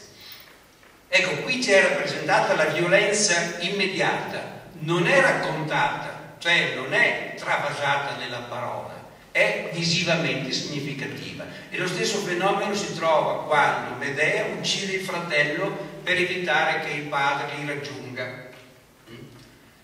Anche qui la scena è, è, è più suggestiva forse, perché non si vede l'uccisione, ma si vede il carro che traballa sotto la violenza dell'aggressione di Medea nei confronti del fratello. Questo per esempio. L'altra cosa, oltre la, la, la questione del, delle unità di tempo, di luogo e di azione, riguarda un'osservazione che fa Aristotele a proposito della tragedia, i cui protagonisti sono superiori alla umanità normale. Allora qui abbiamo una dimensione che può essere rivissuta e rappresentata solamente in forma fantastica, non in forma realistica. Tanto più che Pasolini ha voluto trasferire il mito, reinventato come lo fa lui, diciamo così, nella vita normale, mettendoci dei personaggi presi dalla strada, non tutti, ma sono attori improvvisati. Allora voi capite che questo provoca una specie di decalage rispetto alla rappresentazione tragica, perché la trasporta ad un livello, ad un registro rappresentativo che non è e non può essere quello della tragedia. Evidentemente Pasolini ha voluto fare questo e aveva diritto ed era legittimo farlo, perché come dicevo prima, la tragedia è sempre un pretesto per rappresentare una propria visione delle cose. Però quello che lascia me, eh, questa è un'opinione, perplesso è la commistione di due livelli narrativi e rappresentativi, uno che è alto e l'altro che è volgare. Mi riferisco se volete, anche all'aspetto dei personaggi. Pensate Edipo. Edipo è il protagonista di Accatone. Va benissimo dal punto di vista di, eh, di Pasolini, però io mi domando se dal punto di vista visivo sia il personaggio più significativo della realizzazione. Tanto più se noi lo mettiamo vicino a, a, a, alla regina, che è di un grande prestigio come immagine. Quindi qui c'è qualcosa che, a mio modo di vedere naturalmente, eh, perché queste sono opinioni che possono essere discusse e criticate, provoca una specie di contrasto. Lo stesso direi per quello che riguarda Medea tra Ciasone e Medea stessa, che ha un grande prestigio dal punto di vista personale, la Callas come Nella tra... L'ultima cosa, 30 proprio ultima. Voi sapete che nella tragedia c'è sempre una dimensione religiosa, non di religiosità come la intendiamo noi moderni che siamo passati attraverso il cristianesimo, ma secondo la prospettiva che è propria del mondo tragedia è una rappresentazione parte politica perché si rivolge alla città, parte religiosa per il modo in cui tratta certi fatti. Ecco, in, in Pasolini questa dimensione religiosa io non la ritrovo, salvo in una scena che è molto bella, ed è in Medea, quando Medea uccide i figli. Noi non vediamo l'uccisione, neanche in Euripide c'era, però vediamo il modo in cui Medea, dopo aver meditato la vendetta, la realizza, e cioè è una specie di cerimonia religiosa. E, chiama entrambi i figli amore, quasi che volesse preservarli dalla perdita di quel mondo che lei. Ecco, da questo punto di vista Da questo punto di vista eh, c'è in, in questo dramma di Pasolini una forma di religiosità che è quella del raccordo con la propria origine.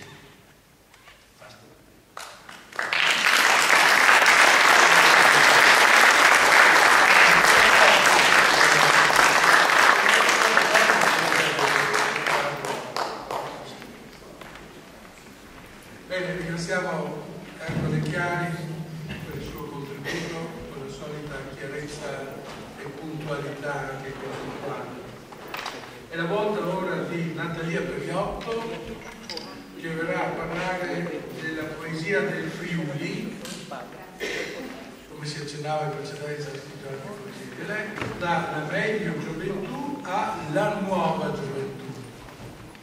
Questo che ha rivisto e quindi la parola a Natalia. Grazie, buonasera a tutti e cominciamo subito. La mega gioventù è un insieme di poesie che sono uscite nel 1954 e la nuova forma della meglio gioventù è un'altra eh, edizione del, è un'edizione del 1974 col titolo della nuova gioventù. Pasolini, licenziando questo doppio volume, dice è un libro scritto due volte, vissuto e rivissuto, un corpo dentro un corpo. Adesso noi ci dobbiamo chiedere che cosa vuol dire scritto due volte. E allora, come diceva Franco Fortini, che, Franco Lattes, che pur non amava molto Pasolini, un poeta va preso, si apre il libro e si legge. E noi leggiamo nella dedica alla meglio gioventù del 54 in dialetto, perché sono in dialetto, questa poesia. Fontana de Aga, fontana di acqua del mio paese. Non c'è acqua più fresca che nel mio paese. Fontana di rustico amore. Poi prendiamo l'edizione del 1974 e c'è scritto, sempre in dialetto, fontana di acqua di un paese non mio, non me non c'è acqua più vecchia che in quel tal paese. Fontana di amore per nessuno. Allora ci dobbiamo chiedere che cosa è successo in questi vent'anni. È bellissimo, vent'anni, è bellissimo anche perché Pasolini bisogna leggerlo tutto, eh, cominciando dagli exergo, le dediche, eccetera, tutto tutto perché lui è sempre, si richiama continuamente. Orbene, nell'exergo della meglio gioventù c'è scritto 20 anni, un verso di Machado, 20 anni in terra di Castiglia. E noi dobbiamo chiederci che cosa hanno, con, che cosa hanno significato questi anni per cambiare la prospettiva. In questi anni c'è stata tutta una produzione in poesia di Pasolini, dalle ceneri di Gramsci fino al, eh, fino al eh, trasmanare, organizzare in, me, in mezzo la religione del mio tempo, con una fedeltà indiscussa verso la poesia. Ma ci sono stati anche dei fatti privati molto importanti. C'è stata la morte, anzi direi l'assassinio del fratello di Guido Alberto nel febbraio del 42 su a Porzus tra l'Italia e l'Ugoslavia ci sono stati i fatti di Ramuscello.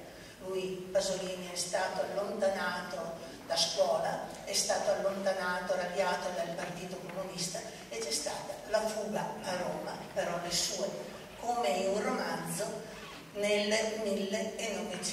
1950.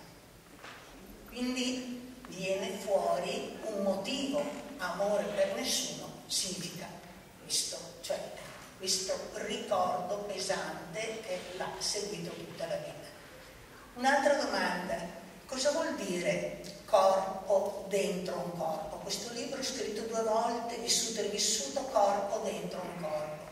Allora dobbiamo tener conto anche di un'altra opera che si intitola L'usignolo della Chiesa Cattolica e che di per sé sarebbe già un programma già nel titolo, un titolo che rimane sempre tale perché non è stato mai cambiato e che è pubblicato per vicende editoriali anche un po' così confuse nel sì, no, non tutto chiare, nel 58, però è radicato nel 43, cioè a ridosso della meglio gioventù. È scritto in italiano e è a forma di dialogo.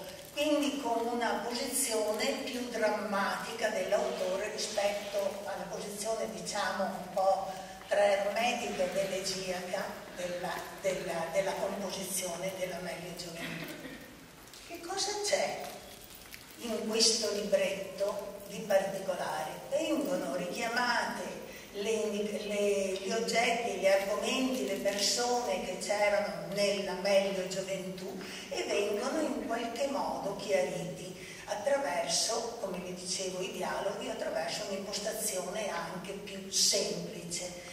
E che cosa c'è esattamente in questo libro che richiama anche la meglio gioventù?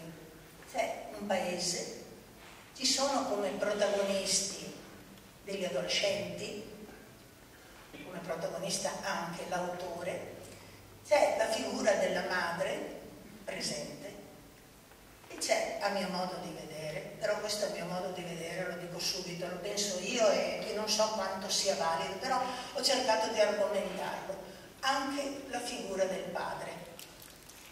Un padre assente, però non rimosso paese è Casarsa, al di là dell'Aga, cioè al di là sulla riva destra del tagliamento. È un paese della, dell'anima, si potrebbe dire, dove è fermato da momenti del giorno, le albe, la sera, il tramonto, il rosario, vicino, dietro ai cari muri spenti, vedo dopo il rosario correre ragazzi umili e violenti, dove la, tutto sommato la religiosità popolare, la Chiesa, interviene a segnare il tempo, anzi a circoncludere il tempo in modo quasi che sia ogni anno uguale all'altro, secondo l'eterno ritorno delle stagioni, in modo da dare scacco alla morte. Infatti, proprio all'inizio dell'Usignolo, Pasolini dice, ma tu, Domenico, e sei figlio di Stefano che porti negli occhi, nel corpo, nei capelli, il viso di tuo padre, il corpo di tuo padre, i capelli di tuo padre, dove sono andati gli anni che sono intercorsi tra te e tuo padre? Dove sono volati? E si risponde che si risponde in questo modo. Eh, che cosa, quale, quale, quale poesia tu canti, quale vita canti nella tua morte e che morte c'è nel tuo esistere tranquillo. Quindi vediamo già che ci sono questi termini antitetici che prima sono stati più volte accennati, anzi detti, descritti, quindi questo ribaltamento dei valori che tutto sommato, delle, dei concetti che tutto sommato lascia trasparire un segno di rottura. Casarsa non è più il paese di Pasolini, è entrato qualche cosa di diverso, magari definitivamente nella storia nel 45, nel 49, ma quasi nell'animo del poeta presentito sentito prima.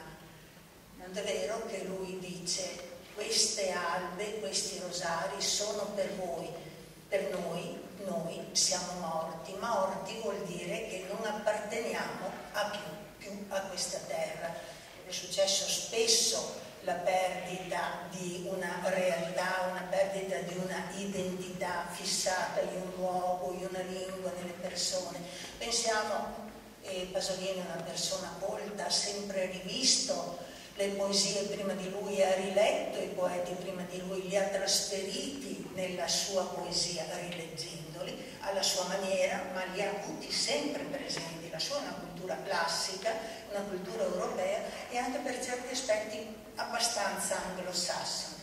Ebbene, si diceva, è successo ancora questo. Pensiamo a una delle bucoliche di Virgilio, la prima eh, dove un pastore sta tranquillo sul, sotto l'albero con il suo flauto leggero, ma l'altro, il, il, pastore che sa, il pastore portatore della storia, se ne va e dice nos limpimus arma, nos patria fugimus andarsene. Quindi si è chiusa già nella, nella descrizione di Casarsa, di questo mondo felice, si intravede una dicotomia fatta da queste contraddizioni, da queste riletture che comparivano già nel, nel titolo e che sostanzialmente eh, si conclude, cioè è presente come un filo rosso in tutto il libro e si conclude per esempio alla fine della Meglio Gioventù c'è eh, una canzone, la canzone è eh, un componimento intitolato Canzone, Canzone è uno dei componimenti più illustri del, del nostro Medioevo, più ancora del sonetto a mio modo di vedere, ma questo sempre si può dire a mio modo di vedere, sì, è permesso. Ti è concesso. Ecco, sì. La canzone da, diciamo, tanto per capirci, da Cavalcanti, conosciuto la ballattetta per esempio, fino a Lucio Dalla, è un componimento che, oh, che torna nel proprio paese, che ritorna alla persona, che ritorna nel posto che si è amato per portare un messaggio, diglielo tu, vai tu a raccontare. E in questo caso invece Pasolini dice, canzone, vai tu laggiù, in questa terra dove tutto è fermo, perché Casarsa è il luogo veramente fuori del tempo, fuori dalla storia. Però non parlare, non dirsi niente, non dire nulla. Il tuo sia solamente il singhiozzo di una lingua che è caduta ancora una volta in cuori dimenticati. E nel congedo sempre parte della canzone, sempre la, la chiosa finale raccomanda e dice essere lontani dal Friuli fa una raccomandazione a se stesso e, e anche a chi legge. Essere lontani dal Friuli vuol dire semplicemente non essere più conosciuti. Non c'è luce più per te e non c'è ombra nel mio cuore per tenere la tua ombra. Questo è il rivolgimento, la contraddizione rispetto a un'immagine di partenza, a un sogno che si credeva di poter vivere con serenità, che si, poter, che si credeva di poter continuare a vivere. Nel paese di Casarsa, che è un paese di acque, tagliamento, di Magredi, di Fonde, che sono quei posti che non hanno neanche una traduzione, dice lui, dove i ragazzi si tuffano nudi, questi adolescenti vivono insieme tra di loro nei momenti liberi dal lavoro, probabilmente. Dopo quello che ci ha detto Piani, pensiamo che, che non ce n'abbiano tanto, dite no, ma esiste, esistono questi momenti, poi sono dilatati nella giovinezza e nell'adolescenza e sembra che siano una giornata intera e magari sono dieci minuti. E Pasolini è con questi ragazzi, un adolescente con gli adolescenti. Lui dice di sé e ha questa idea di sé. Adulto, siamo nel 1950 quando scrive questo, adulto mai. Io sono fedele a quella stupenda monotonia del mistero, pari, sempre pari con l'inespresso quindi viene avanti questa figurazione dell'adolescente che è sostanzialmente una figura incompiuta, quella di Caravaggio che vede il ragazzo piegato sul fonte nell'aria liquida, oppure quel, quell'altro autore stupendo da cui tanti hanno preso, perché la letteratura non è mai originalità, mai, mai, mai, è sempre una rilettura, l'originalità è proprio nella rilettura delle cose. Per quello quando non abbiamo più letteratura non sappiamo, penso a questo pensiero eretico che non, non si deve fare.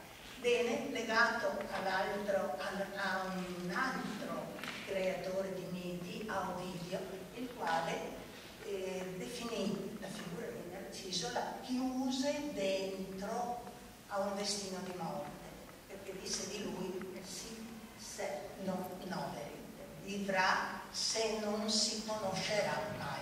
vivrà l'adolescente è chiuso in quei confini, non può uscire lì. Come figura abbiamo visto per certi aspetti incompleta la sua definizione, secondo il suo aggettivo, secondo Pasolini è narcisico.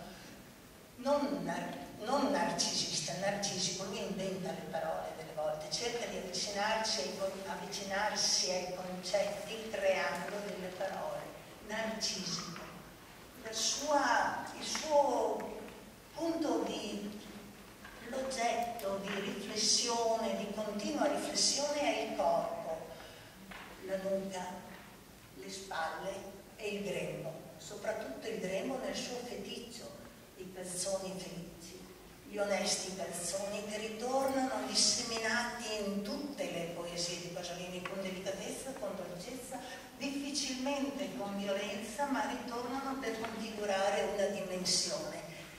La sua, la sua è un'incertezza di vivere tesa tra il cielo e la terra, tra il peccato e il pudore. Eh, ci sono poesie che, dove si parla di un, uh, un, una violenta, un, un violento pudore che eh, contrasta con questi peccati, di dolci peccati, peccati amati e che sono praticamente quello che gli ritornano nel, dai sogni la mattina. C'è una condizione sempre di incertezza e di, e di non facilità a scegliere. Sostanzialmente la figura dell'adolescente, dell'adolescente di Pasolini, adolescente, dichiara la propria difficoltà a scegliere. Per esempio c'è una, una lirica intitolata La lingua che riguarda la scelta della poesia e dice sono entrato nel mondo degli adulti, nel museo degli adulti e ho trovato una lingua bellissima, adesso ripeto riassumendo, una lingua bellissima, però questo endecasillabo d'avorio non poteva contenere, essendo d'avorio quello che era, che invece ero io, che ero carne. Non potevo dire, il, eh, dire a lui l'amore per mia madre, i turbamenti per il mio grembo, non potevo parlare di cose che lui non avrebbe capito. E quindi c'è questa dichiarazione di volontà di cercarsi un altro tipo di poesia, un'altra forma poetica che fosse in grado di accogliere i suoi desideri anche infantili, insomma la fionda, l'orologio, il topo, i compagni, la piazzetta, la chiesa, la sera al rosario, che fosse in grado di raccogliere questa nuova sensazione del mondo ed emozione che il mondo gli, da, gli dava, che il, la poesia degli adulti, la poesia della tradizione italiana, sembrava non essere in grado di tenere dentro di sé. Come neanche la storia. La storia dice, la storia è una antica terra altrui che dà alla vita l'ansia dell'esilio rimprovera quasi sua madre, dice tu mi hai espresso nel mistero del sesso per un logico creato.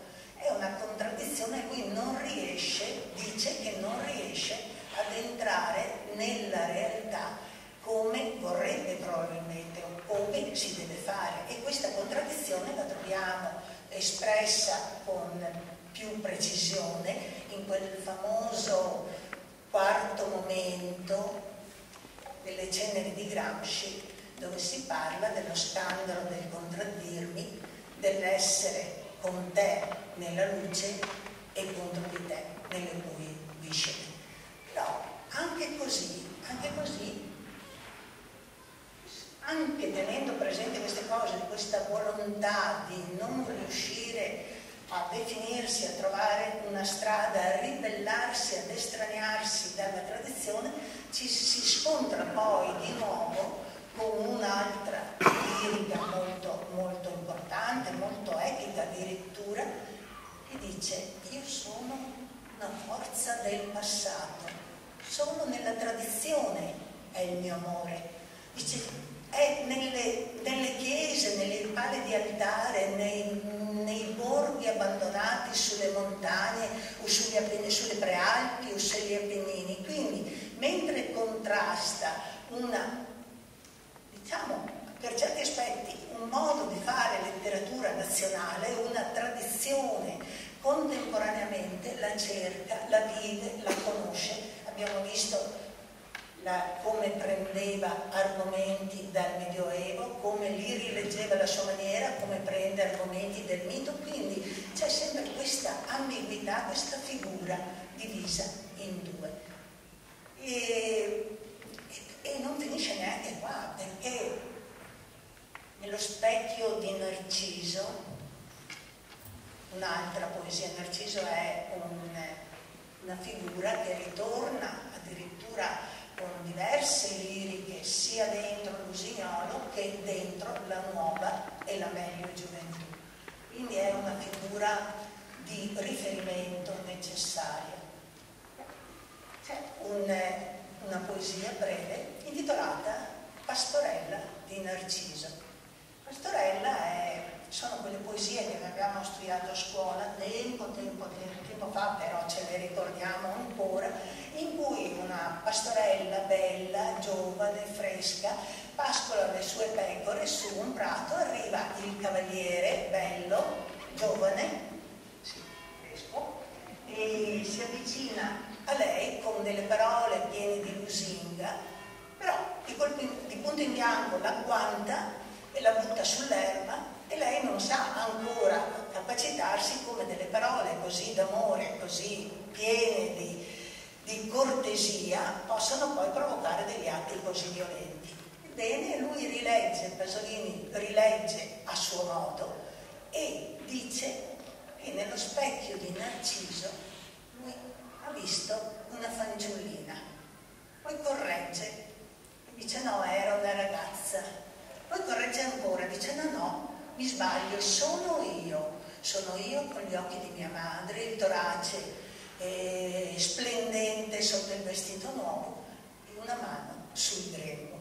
Quindi dichiara che quel grande amore che lui sente per il mondo in sostanza è un amore di riflessione e di rifrazione, cioè che gli ritorna indietro, centuplicato se vogliamo, però gli ritorna sempre su di lui. È quel, a questo punto siamo all'interno di una di una patologia, di quello che si chiama disturbo narcisistico di personalità e che lui ha subito, ha patito, quello che l'ha fatto cercare di notte sulle strade fuori Roma, sulle periferie, quei corpi senza anima, quei ragazzi che trovava. Mi fa però anche dire in una, in un, in, nei versi del Testamento, fuori quindi dalla meglio gioventù, quindi più tardi, credo che sia un trasumano organizzare proprio poco prima, nel 74, poco prima della morte, dice no, dice il, il sesso è un pretesto.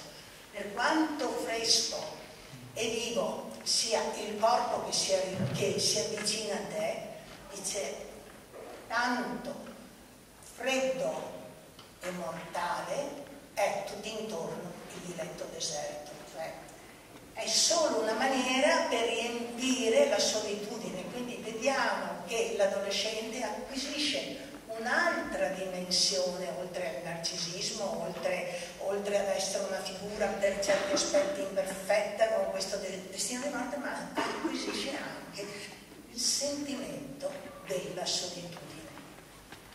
Il sentimento della solitudine. Nello specchio di Narciso ed è, come ho detto, un motivo conduttore,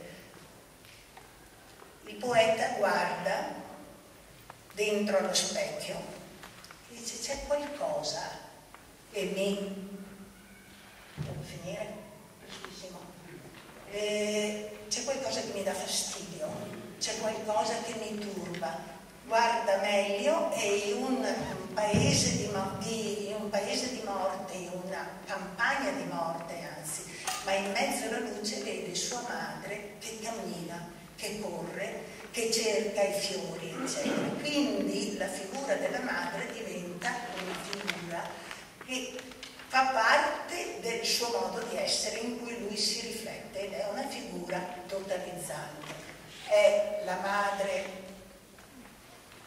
che una figura che dipende sia dal mito che, del, che, dalla religione, perché come si diceva prima è Medea che uccide i figli, la Medea Cattonia, è la madre la, la, madre di Gesù, la Madonna, che sotto la croce vive la sua passione, per cui Susanna Colussi Pasolini ha insieme questo connotato di donna che partorisce il proprio figlio e di donna che sopravvive il proprio figlio.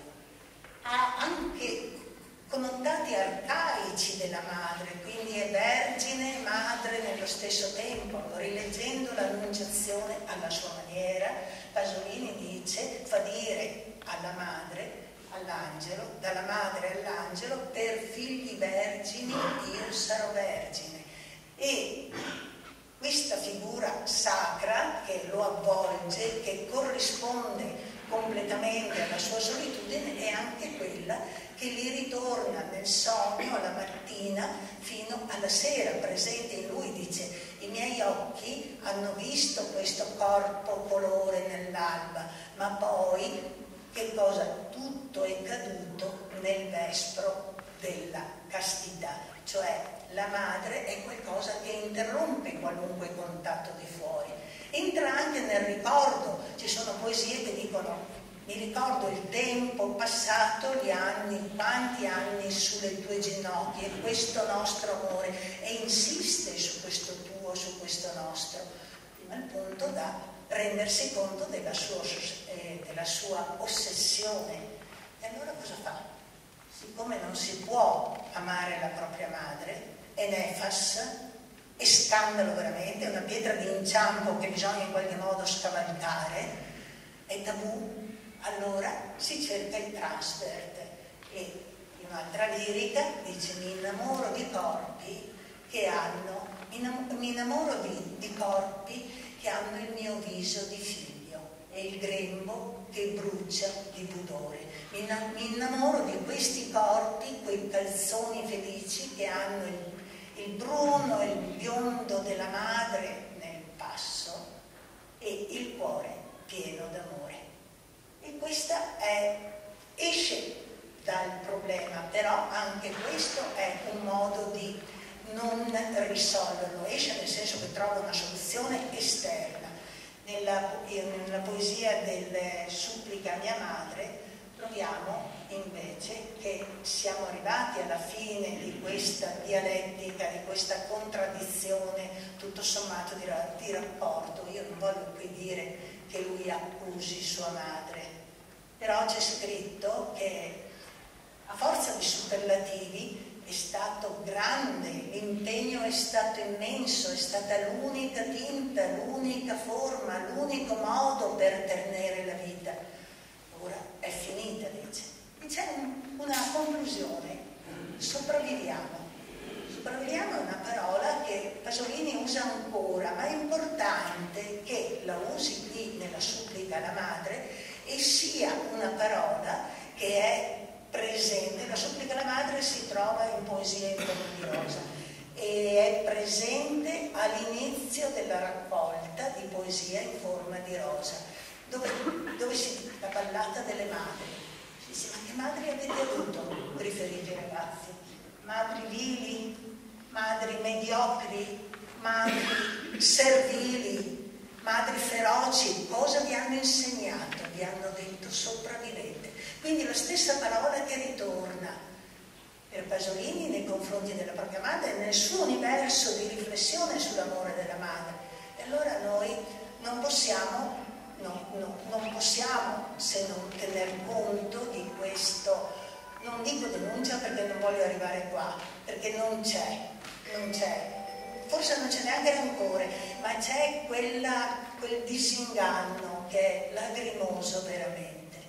E questa, questa ultima poesia dà dell'adolescente la dimensione del figlio, che è quella che ci aiuta per concludere adesso, vedi che sto sempre andando eh, per concludere perché ho parlato della figura del padre, del padre assente ma non rimosso. Ecco, noi non lo troviamo nello specchio di Narciso, noi non troviamo il padre come raffigurato, come una presenza, un'immagine della sua poesia, però non possiamo neanche dimenticare che l'ha detto prima Ercole Chiari, è stato il rilettore e regista dell'Edipora di Sofocle, dove la figura del figlio e la figura del padre, anche quella della madre, sono fondamentali. E in affabulazione un'altra tragedia che lui... No, no, era... Sì, è una tragedia però per teatro. Lì il padre arriva a una, a una forma di autocoscienza così pesante da arrivare all'autodistruzione. Non possiamo dimenticare che Poesie a Casarsa, il primo libro, neanche 50 pagine, lui l'aveva dedicato a suo padre e ha mantenuto questa dedica. Suo padre dice anche che suo padre era contento, lo mostrava a tutti quanti. Non, non possiamo quindi dimenticare che, che c'è questa figura che agisce. Ma come agisce? Quando Pasolini dice Voglio, sono entrato nel museo degli adulti, mi sono trovato davanti a una poesia che non mi corrispondeva e voglio la mia, per cercare la propria autonomia, la propria sì, autonomia dice io non ho madre, non ho sesso, ho ucciso mio padre con il silenzio. Però, però il silenzio fino a un certo punto, nel suo, nella, in una poesia di Lusinone della Chiesa Cattolica intitolata Croce di Fissione, c'è una, una brevissima parte dove il figlio Gesù, che è un macro segno anche della poetica di Pasolini, si rivolge a suo padre e dice la voce estrema chiese a Dio perdono. Lo chiese in chiedendo scusa della propria vergogna. Quindi anche qui una contraddizione, si chiede perdono e si chiede scusa della propria vergogna. E questa frase poi è espressa molto meglio perché è ripresa tale quale nel Vangelo secondo Matteo, nel Vangelo secondo Matteo di Pasolini, mio Dio, mio Dio, perché mi hai abbandonato? E non c'è spazio per l'altra preghiera che dice ti affido il mio corpo, anzi ti affido il mio spirito nelle tue mani. Non c'è spazio per questo, che era l'unica maniera fiduciosa. Quindi il padre è mancato e la sua ombra, la sua mancanza, a mio modo di vedere, si ripercuote anche nel futuro del, del giovane uomo, di questo figlio, perché dice io sto nutrendo dentro di me con con dolore la fantasia di un figlio che non diventerà mai padre. Io non, non riuscirò mai a scavalcare l'amore per la vita, per la vita stessa e quindi sarò sempre tagliato fuori dall'eterno in questa diversità che nel mondo naturale non è conosciuta. Quindi Pasolini rimarrà sempre figlio, adolescente, figlio, dice lui, come Gesù Cristo e come Narciso.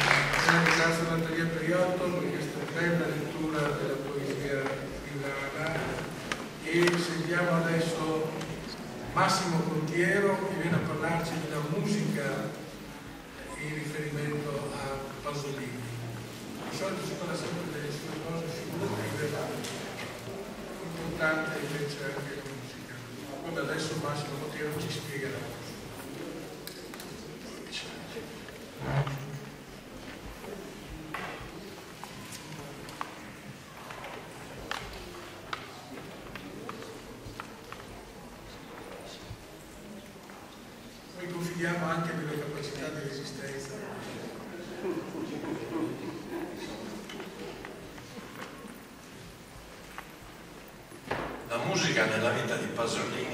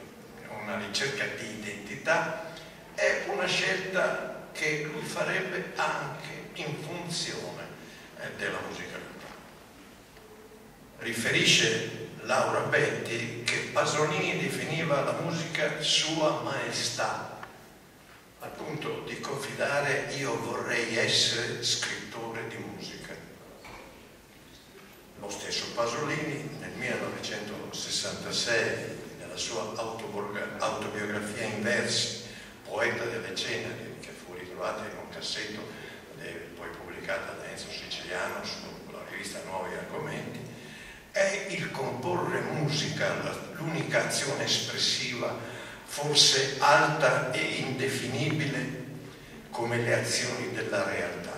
E ancora, bisogna che io mi esprima in musica. La vera necessaria novità consisterebbe nella vera e propria tecnica musicale. Apporterei delle nuove note stonate e per indicarle dovrei inventare dei nuovi segni. Emblematico in questo senso il gioco che fa simile al procedimento musicale delle variazioni sulle parole Dio, morte, io, mescolando variamente le lettere che compongono questi tre vocaboli. Ma soprattutto nella musica per lui abbiamo le vere parole della poesia, le parole, tutte parole cioè che prescindono dal significato tingente e sono in grado di raccontare l'ineffabile.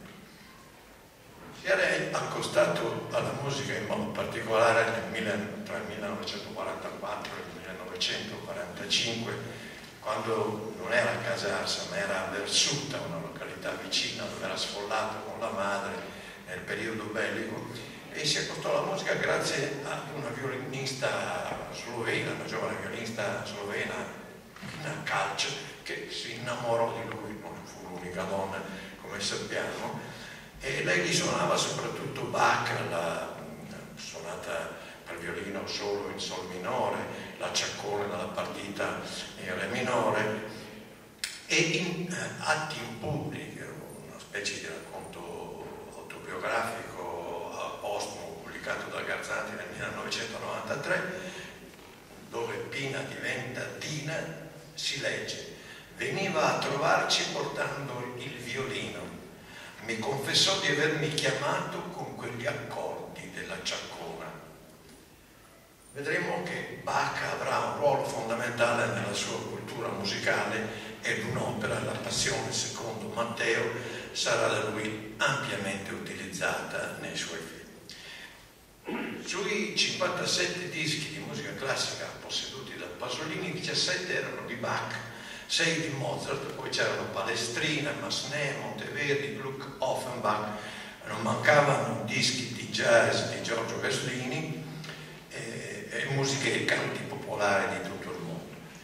Non amava però la dell'avanguardia musicale post-bellica del Novecento, tuttavia aveva dei dischi cosiddetto espressionismo musicale viennese, cioè di autori come Schoenberg, Berg e Weber.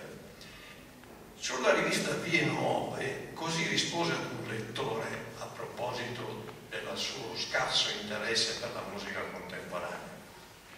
Ci sono molte ragioni per cui preferisco la musica classica a quella contemporanea come commento ai miei film. La prima è stilistica, la creazione cioè di un pastiche linguistico fortemente accentuato a contrasto, che serve a rappresentare più con più drammaticità quello che voglio dire. E poi sono, come ha ricordato anche Natalia Periotto, una forza del passato è un'idea sbagliata, dovuta come sempre alle mistificazioni giornalistiche, che io sia un modernista. Anche i miei più fieri sperimentalismi non prescindono mai da un un eh, determinante amore per la grande tradizione italiana ed europea. Solo la rivoluzione può salvare la tradizione, solo i marxisti amano il passato, i borghesi non amano nulla, le loro affermazioni retoriche di amore per il passato sono semplicemente ciniche e sacrileghe. Comunque, nel migliore dei casi, tale amore è decorativo o monumentale, come diceva Schopenhauer, non certo storicistico, cioè reale e capace di nuova storia. Mi lasci dunque amare Masaccio e Bach e detestare la musica moderna e la pittura astratta sorprendenti tutto sommato. Ma eh, comunque musicisti a lui contemporanei o moderni si sono ispirati alla sua opera, ad esempio Silvano Bussotti con Memoria la bandiera rossa di Pasolini. Eh, I due lavori, quello poetico e quello musicale, sono stati scritti più o meno negli stessi anni eh, alla bandiera rossa di Pasolini è un epigramma che fu composto tra il 1958 e il 1959 ed è incluso nella religione del mio tempo pubblicato nel 1961. In questo testo Pasolini ebbe a dire in esso delinea una tragica situazione di regresso nel sud, come si sa coincidente col progresso economico, almeno apparente, del nord e concludo augurandomi che la bandiera rossa ridiventi un povero straccio sventolato dal più povero dei contadini meridionali. Quanto alla memoria di Bussotti, riporta in partitura la data del 20 maggio 1962. Il carteggio tra Bussotti e Pasolini è pubblicato da Calabretto nel volume che prima citavo e sarebbe molto importante leggere qui anche le parole di, a commento di Paolo Calabresi. Erano entrambi per lei artisti capaci di, di captare con i sensi anche la più piccola e impercettibile variazione del palpito vitale e dargli corpo e forma. Pasolini e Bussotti già negli anni 60 avvertono nel mondo i segni dei tempi che mutano. Il consumismo polverizza poco a poco l'integrità dell'uomo, il potere si rinchiude in Olimpi remoti e disumani, gli stati nazionali, i partiti politici, l'arte e la cultura si reggono su fragili equilibri e le reazioni si disperdono in mille rivoli. Si insegue il totale rinnovamento dei linguaggi dell'arte in una più o meno aperta, radicale rottura con la tradizione. Ma per Pasolini, conclude poi la studiosa dei partiti di sinistra, convinti che la soluzione al problema della povertà sia nel convertire le culture popolari alla cultura della classe dominante, sono responsabili una totale borghesizzazione delle classi popolari. Per la cronaca, i due artisti, Bussotti e Pasolini, tra l'altro tutti e due omosessuali, non diventarono amici e neppure nacque tra loro una uh, complicità. Il, il, concerto in cui ci fu la prima esecuzione di questo pre Bussotti fu una, molto contestato dal pubblico palermitano. Dicevo che non nacque neppure un'amicizia tra i due perché in seguito Pasolini recensirà un film Bussotti, Rara, tratto dal suo Rara Requiem, e lo stroncherà. Nel 1964 Pierpaolo Pasolini scrive Italie Magique per Laura Betti, che è incluso in Potentissima Signora, uno spettacolo di canzoni e dialoghi scritti per Laura Betti, appunto da Pierpaolo Pasolini, Furio Colombo, Enzo Siciliano, Augusto Frassinetti. La novità stilistica è proprio questo cercare la fusione di teatro, musica, danza, cinema per un one woman show in cui c'è la carnalità, la, la corporalità della Betty al centro che ricorda e difende quello spettacolo dicendo che era uno spettacolo molto bello al quale ricordo l'aneddoto chiese un milione di lire a Gianni Anelli che invece viene solo 500 mila e lei rispose con mezzo foglio dicendo che avendo lui dato un mezzo contributo rispetto a quello che aveva chiesto, lei gli rispondeva con mezzo foglio. C'erano addirittura i pannelli di Mario Schifano, che allora era un esponente dell'avanguardia pittorica assolutamente in alto, c'erano le scene di Lida De Nori. Tralascio di parlarvi di, del balletto cantato Vivo e Coscienza, perché ho visto che c'è una relazione di Claudio Ronda sulle coreografie e gli porterei via l'argomento, però dico che qui la musica era stata affidata a Bruno Maderna, grande esponente della musica d'avanguardia eh, di quel periodo e questo fu un progetto che non fu realizzato all'epoca, venne poi coreografato successivamente, ma ne parlerà Claudio Ronda. Giorgio Battistelli, che attualmente uno dei nostri maggiori compositori, Leone d'Oro alla Biennale pochi giorni fa alla carriera, ha scritto nel 1992 un'opera presentata a Monaco dal titolo Teorema, naturalmente ispirata dal film di Pasolini. Nel 2005 per Angelica, Festival internazionale di musica contemporanea, Giovanna Marini, che spero qualcuno di voi ricordi, ha composto le musiche sulle ceneri di Gramsci, oratorio più voci, dal canto di tradizione orale al madrigale d'autore nel 2006. Giovanna Marini era una chitarrista di formazione classica, aveva studiato con Segovia, che Pasolini avvicinò al termine di un concerto in cui lei aveva suonato Bach e gli chiese se conosceva il canto popolare e la iniziò a questo interesse che poi diventò in lei addirittura eh, prevalente. Ma tornando al rapporto personale di Pasolini con la musica, senza alcuna preparazione tecnica e musicologica, tentò addirittura un saggio, studi sullo stile di Bach. Della siciliana, della prima sonata per violino, che gli faceva ascoltare Pina Calce, scrive, è discorso, cioè contrasto, cioè dramma, vi ho di due voci, rappresenta una possibilità di Bach ad essere diverso da quello che è stato. E della musica religiosa di Bach scrive, è una lotta tra la carne e il cielo. Aggiungerà poi nei quaderni rossi come parteggiavo per la carne, come mi sentivo rubare il cuore da quelle note.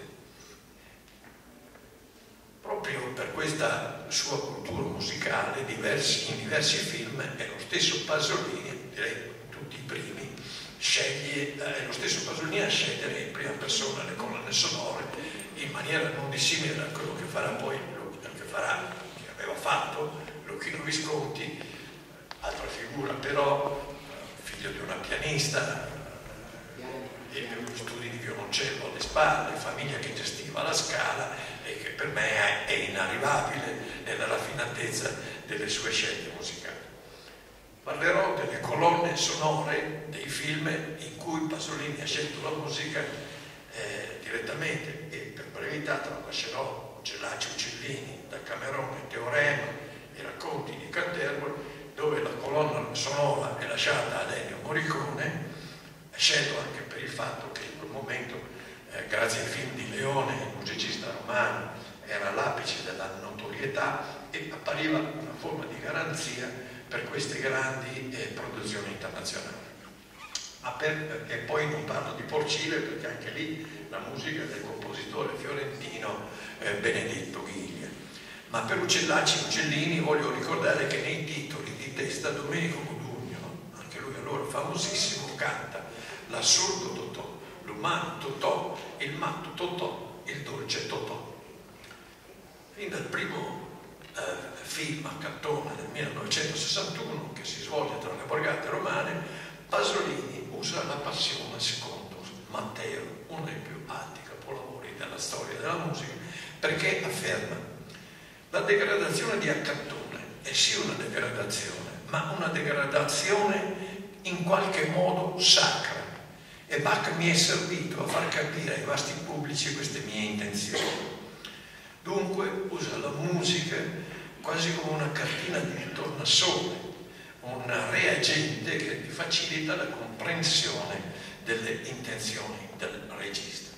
In particolare viene usato il coro Wir setzen uns mit Tränen nieder, noi siamo in, altri, in lacrime, e in altri momenti si ascoltano ancora il patetico andante dal concerto brandeburghese numero 2 in Fa maggiore sempre di. Ancora il mondo delle periferie romane compare nel secondo film Mamma Roma e questa volta è Vivaldi, il compositore scelto da Pasolini e in particolare l'ha scritto dal suo concerto per fagotto in re minore, che accompagna la scena morte, della morte di Ettore, l'attore Edoardo Garofoli e di Porè, l'altra versione di cui avete parlato, figlio nel film di Anna Magnani e accompagna tutto il, il finale del film che sono inoltre stornelli romaneschi con cui si provocano a vicenda Anna Magnani e Franco Citti nella scena della trattoria, poi nella scena in cui Anna Magnani insegna il tango al figlio, il giradischi fa ascoltare il violino zigano, mentre un cia cia cia accompagna la passeggiata notturna di Anna Magnani, donna Roma. L'episodio La ricotta da Rogo Paca, cioè Rossellini, Pasolini, Godard, Gregoretti, è il terzo film, è, ma episodi, eh,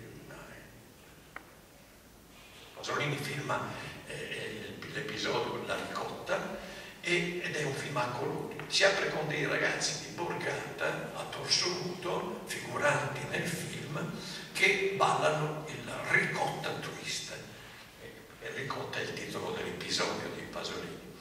E in una scena si sente la voce di Pasolini fuori campo che richiama gli attori a smettere di ballare il twist e ad assumere un atteggiamento più serio rispetto alla produzione. Invece Eclisse Twist si sente mentre eh, Orson Welles eh, legge a un giornalista brani del film eh, Mamma Roma, cioè il.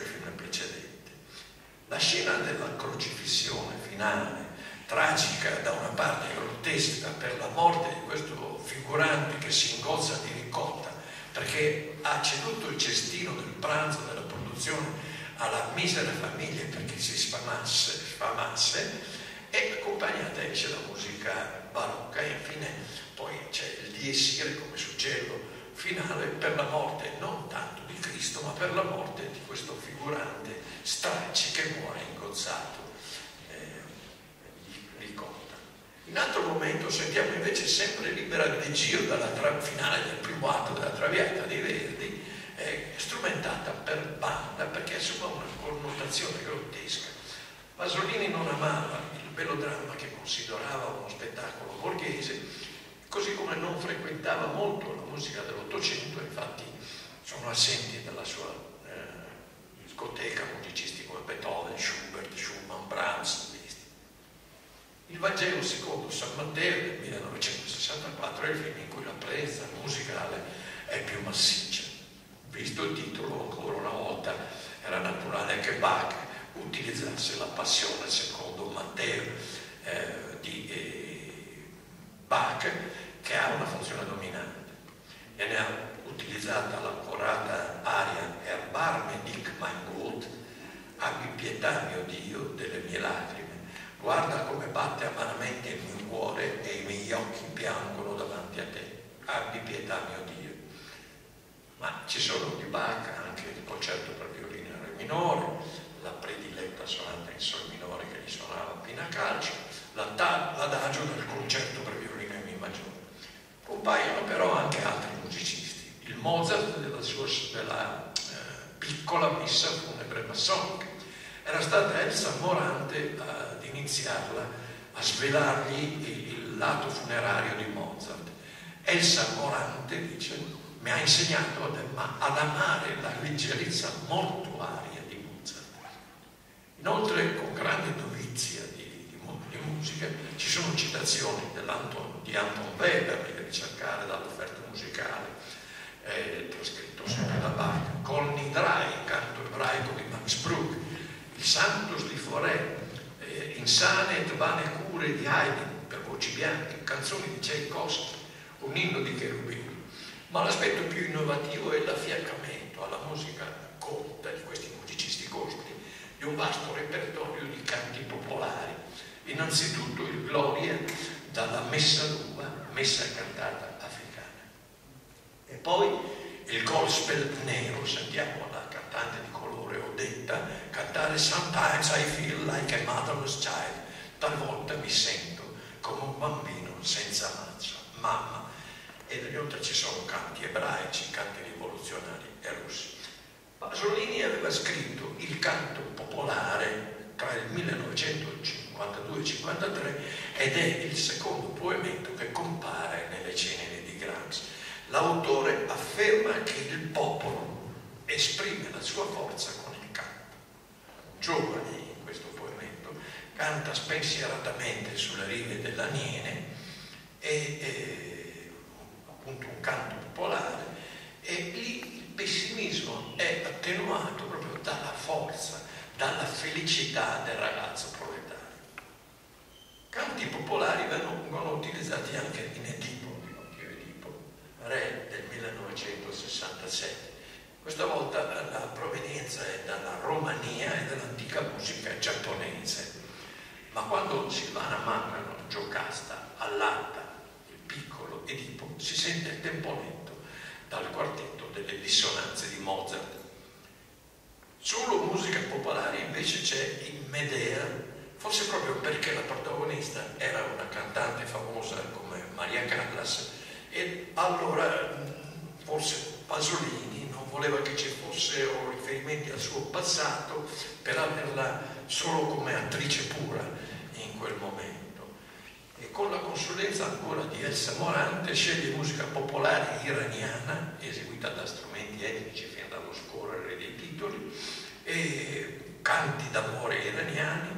Eh, ci sono poi musica classica indostana del subcontinente indiano, musica tibetana, campanelli buddisti, musica sacra giapponese, proprio in quella scena che ha descritto Ercole Chiani, in cui c'è questa presunta cerimonia religiosa dell'uccisione dei figli. Eh, in un primo tempo voleva lasciare questo film senza colonna sonora o al limite utilizzare il gregoriano, ma poi optò per la soluzione che ho. È stato scritto che Pasolini usa la musica in, opposizione al parlato di Medea per sottolineare le diverse fasi della vita di Medea e dunque il suo sradicamento, che Ercole Chiari ha ricordato, eh, dalla, sua, dalla sua prima condizione popolare alla seconda borghese, una volta che decide di fuggire con gli Argonauti. Nel 1967 Pasolini volle Modugno tra gli interpreti nel film Episodi del 1967 Capriccio all'italiana. Il titolo dell'episodio è, eh, diretto da Pasolini, è dove, Che cosa sono le nuvole? E Modugno musicò una canzone che eh, aveva lo stesso titolo, eh, ma c'è anche un altro brano, ed è l'adagio dal quintetto per archi in sol maggiore, in sol minore, scusate, in K516 di Mozart. Anche nel, nel Decamerone del 1971, nonostante la colonna sonora sia stata firmata da Ennio Morricone, Pasolini trova modo di inserire canti popolari della Campania e della Calabria registrati sul posto dal musicologo americano Alan Lomax. Salò e le 120 giornate di Sodoma alla consulenza musicale di Morricone che eh, scrive dei, pian, dei brani pianistici che sono suonati da un pianista che è di nome Arnaldo Graziosi, che fu il protagonista, eh, vi racconto molto particolare, di una vicenda personale molto intricata perché fu accusato di omicidio, eh, anzi uccio omicidio, fu incarcerato e a quell'epoca era appena stato eh, eh, liberato, per cui fu subito utilizzato in questo film. Ma ci sono anche molte altre eh, musiche, probabilmente scelte di direttamente da Pasolini, di Carmina Burana, di Orff, uno preludio di Chopin e soprattutto fin dai titoli si ascolta la canzone, eh, anzi si ascolta la versione orchestrale della canzone, sono tanto triste, un brano degli anni 40, eh, eh, compare poi l'inno a, a Roma, inno naturalmente fascista, ma anche Stelluti Salpinis che è un canto del suo figlio la pastorale di Bach viene suonata alla fisarmonica nel momento grottesco della serie di matrimoni fra uomini. Tralascio di parlare di eh, Milano Nera perché in quel caso Pasolini è solo un, uh, uno sceneggiatore. Nella, uh, era un tentativo di far occupare Pasolini della realtà milanese dopo che sua uscita dal Friuli l'aveva portato praticamente nell'ambiente romano. Nei confronti della musica leggera, della canzonetta di consumo, Pasolini ha un atteggiamento contraddittorio. La considerava da una parte corruttrice, ma dall'altra la considerava magica e poetica per la sua capacità eh, di eh, rievocare il tempo contemporaneo, eh, eh, oppure il tempo perduto, nel caso di Sono tanto triste, gli anni 40. Quando Gianni Rodari lanciò un appello agli intellettuali, scrivereste canzoni migliori di Sanremo, Pasolini fu uno dei pochi a rispondere di sì. E ci sono diverse canzoni che hanno le parole di Pasolini, le leggo, il soldato di Pasolini, il soldato di Napoleone, scusate, per Sergio Endrigo, di cosa sono le nuvole, l'ho già detto, il valzer della toppa di Pier Pasolini, eh, musica di Piero Umiliani cantata da Gabriella Ferri, i ragazzi giù nel campo con Dacia Maraini, musica del compositore greco, premio uh, Oscar per i ragazzi del Pireo, Manos et Giakis, cantata da Daniela Davoli, immagino parente, sorella forse di Ninetto. Nel 1974 c'è forse Vita sulla Terra, sempre con la Maraini, sempre con il stesso musicista e la stessa cantante. E poi, dopo la sua morte, viene messa in musica Lengas dai Frus, testo friulano suo, da Mino messa in musica da De Martino per Alice, lo pseudonimo di Carla Bissi, e ancora nel 1997 Cristo al Mandrione con musica di Giuseppe Piccioni, cantata da Gabriela Ferri. Aggiungo nei quattro minuti che mi restano alcune considerazioni di carattere personale. I pregiudizi di Pasolini nei confronti del melodramma come spettacolo borghese erano assai diffusi tra gli intellettuali in, quell'epoca. Ehm, c'era una sorta di snobismo eh, degli intellettuali di sinistra che consideravano appunto privilegio solo della classe borghese l'opera. In realtà bastava, dicevo io, abbastanza giovinetto, di andare nel giorno del nostro teatro sociale per vedere che l'opera in realtà era una uno spettacolo completamente popolare, mi capitava spesso di sedermi vicino al mio barbiere che mi cantava tutto il rigoletto nelle orecchie mentre io lo ascoltavo, quindi un pregiudizio tipicamente novecentesco nel quale non cantano per esempio Visconti e Bertolucci.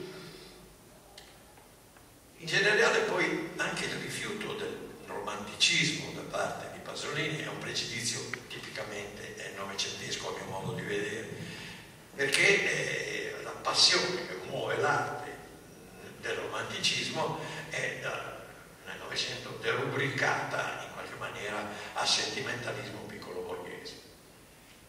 Ed è tipica del Novecento ancora la scoperta, peraltro doverosa, della musica popolare iniziò in Spagna con compositori come Albéniz, Granato, Stefania, poi si spostò nei, nei Balcani con Bartok, eh, nelle isole britanniche con Benjamin Britten e in Italia dove fu valorizzata da etnomusicologi come eh, Roberto Leidi, Emilio De Martino, eh, Revelli. In Italia però, a parte Berio con le sue folk songs, ci sono poche utilizzazioni di musicisti maggior rilievo del patrimonio folcloristico popolare, come si voglia dire. Pasolini con nobilità il canto popolare svolse un ruolo eh, importante che è coerente con il suo amore per il sottoproletariato delle borgate che viene promosso a protagonista dei suoi romanzi e dei suoi film. A differenza però di autori come Sanguinetti o Calvino che lavorarono intensamente ad esempio con Luciano Berio, Pasolini incrociò solo occasionalmente compositori di, rango, ho citato appunto eh, Bussotti e Madera, per quel suo disinteresse per le avanguardie di cui vi ho dato conto.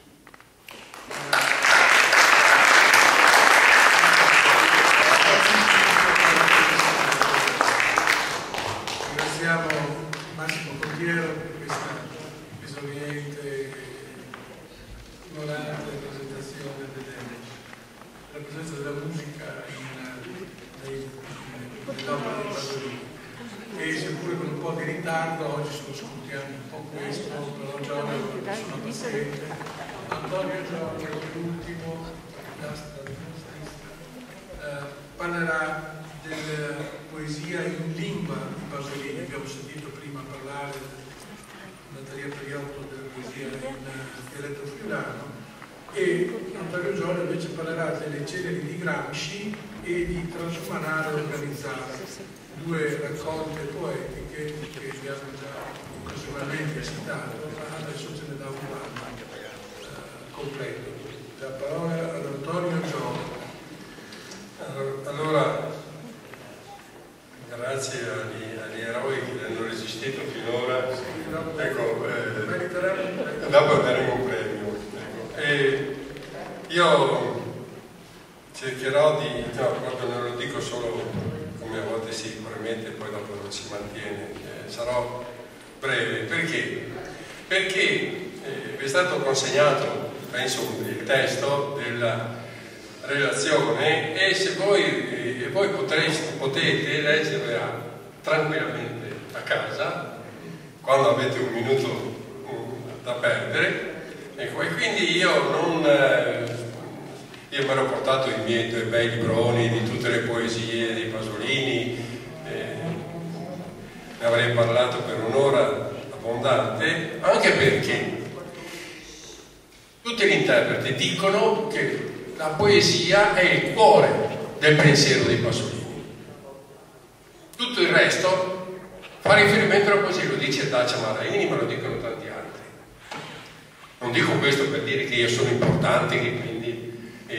stasera toccherebbe a me fare la parte del leone, no, lo dico solo per dire che quello che dirò, come ho scritto, è solo un accenno, cioè io dirò solo poco, perché? Perché Pasolini ha scritto una quantità enorme di poesia e quindi mh, mm, non basta né mezz'ora né, né, né, tutto il convegno a parlare delle poesie di Pasolini, perché veramente ha scritto tantissimo.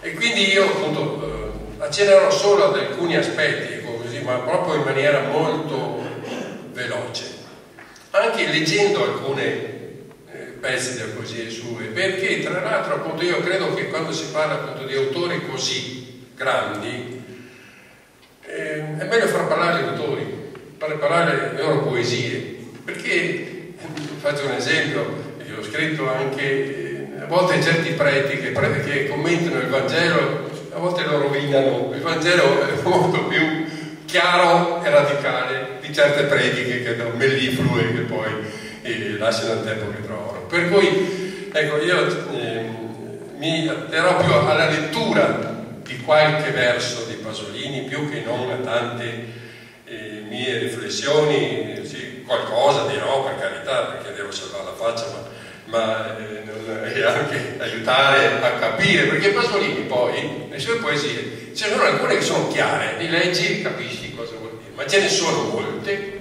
che sono ostiche, sono eh, molto oscure, hanno usano riferimenti storici, riferimenti all'attualità, alla sua vita, ma anche perché il suo modo di esprimersi è spesso un modo appunto anche basato molto sugli ossimori, cioè su queste contraddizioni, continuamente, continuamente. Credo che sia proprio la figura retorica preferita da Pasolini, l'ossimoro, cioè mentre due concetti in contrasto, soggetto, predicato, eh, aggettivo, sostantivo, due sostantivi, cioè mentre proprio in contraddizione, proprio perché è in fondo la contraddizione, credo che l'anima della sua vita, è un uomo estremamente contraddittorio in tutto quello che ha fatto, tutto quello che dice. Il suo linguaggio poi è un linguaggio anche molto eterogeneo, è un linguaggio anche visivo, cioè le sue, eh, le sue poesie proprio descrivono. Anche se poi eh, si arriva alla, a quella frase che lui eh, che dà il titolo all'ultima sua raccolta, Trasumanar e Organizzar, eh, lui cita appunto la frase dantesca che dice appunto nel paradiso, primo canto, significare per verba non si porria, perché in fondo è la conclusione della storia poetica di Pasolini, cioè a un certo punto si arriva che la poesia non può dire la realtà, non riesce più a dire la realtà, c'è una rinuncia alla, alla poesia. Poi ecco, le ceneri di Gramsci, le ceneri di Gramsci, cioè, ho riportato un brano abbastanza lungo delle ceneri di Gramsci, ma sono certamente molto più lunghe. Le ceneri di Gramsci sono interessanti perché proprio qui troviamo un'assonanza fra i due, eh, due pensatori, tra i due grandi intellettuali. Eh, Diego Fusaro, che penso alcuni di voi conoscono, ha proprio eh, ha, ha scritto, ha detto molto su questa somiglianza. È forte ma non è eh, solo una somiglianza, c'è anche una differenza. C'è una somiglianza forte fra i due perché tutti e due sono intellettuali grandi, tra i più grandi, anche più conosciuti all'estero. Tutti e due sono marxisti ma critici, in modo diverso ma tutti e due critici. Eh, sapete la vicenda di Pasolini, iscritto al partito, poi cacciato, poi rientrato, eccetera. E, sempre, è sempre avuto appunto un atteggiamento critico verso la politica. Anche Gramsci ha patito sapete che in carcere era isolato, lo dice bene Pertini, era isolato perché appunto aveva osato criticare l'Unione Sovietica, Stalin, eccetera, e quindi qualcuno dice addirittura che la Russia di allora abbia favorito la sua incarcerazione. Questo pare, Don Giudice, tracciamo queste cose, però non c'è dubbio che Gramsci non era proprio organico al Partito Comunista di allora. E quindi i due, tra l'altro, una, una sciocchezza se volete, sono due lettori terribili, tutti e due leggevano uno o più libri al giorno.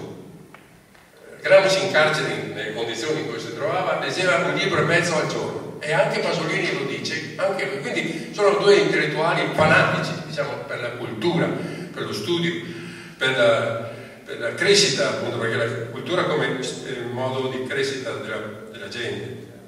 Nelle ceneri di Gramsci, ecco leggo una riga sola, quando dice che eh, parla all'inizio, dice che non è di maggio questa impura aria che il buio giardino straniero fa ancora più buio. Giardino straniero perché è un cimitero, Gramsci è un cimitero per stranieri, per, per non cattolici. E quindi, e quindi è, è anche da, da, da, morto è, è discriminato. E dice però, ecco una frase successiva, dice che eh, eh, umile fratello, già con la, con la, tua magra mano delineava l'ideale che illumina questo silenzio. E, e qui il riferimento è al discorso di, eh, di Gramsci in Parlamento, proprio nel maggio. E poi ancora di, cita, appunto, parla di uno straccetto rosso, come quello arrotolato al collo dei partigiani, e presso l'urna sul terreno cereo diversamente rossi due garofani, due gerani. Cioè, eh, c'è questo riferimento che c'è anche in altre poesie, c'è anche una poesia successiva citata, che è appunto la famosa poesia Il pianto della scavatrice, in cui riprende questo concetto.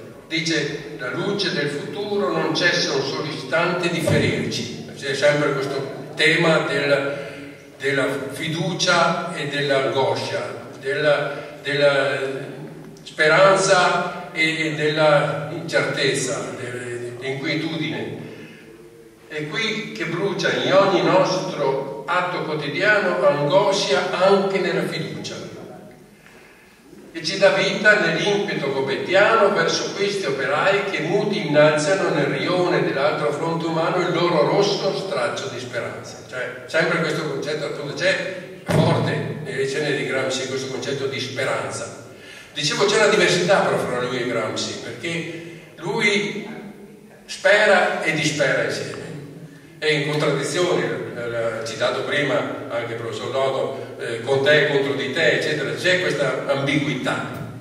Però eh, c'è una diversità, appunto, dicevo, forte perché Gramsci aveva un progetto, ordine nuovo, di una società, credeva in un ordine nuovo.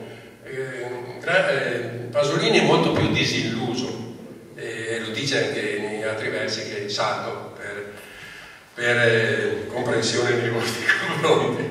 Poi ecco, c'è, c'è nelle, però nelle, nella poesia, sia nella, in questa poesia, in questa, nelle ceneri di Gramsci, ma anche nelle poesie successive, per esempio nella regione del mio tempo, ci sono delle, delle puntature molto uh, precise di, di, polemica. Per esempio c'è una famosa poesia, una polemica in versi, in cui critica eh, i dirigenti di allora del Partito Comunista quando dice ecco ecco cascare le, le rosse bandiere senza vento, vi siete assuefatti, voi, servi della giustizia, leve della speranza, ai necessari atti che umiliano il cuore e la coscienza.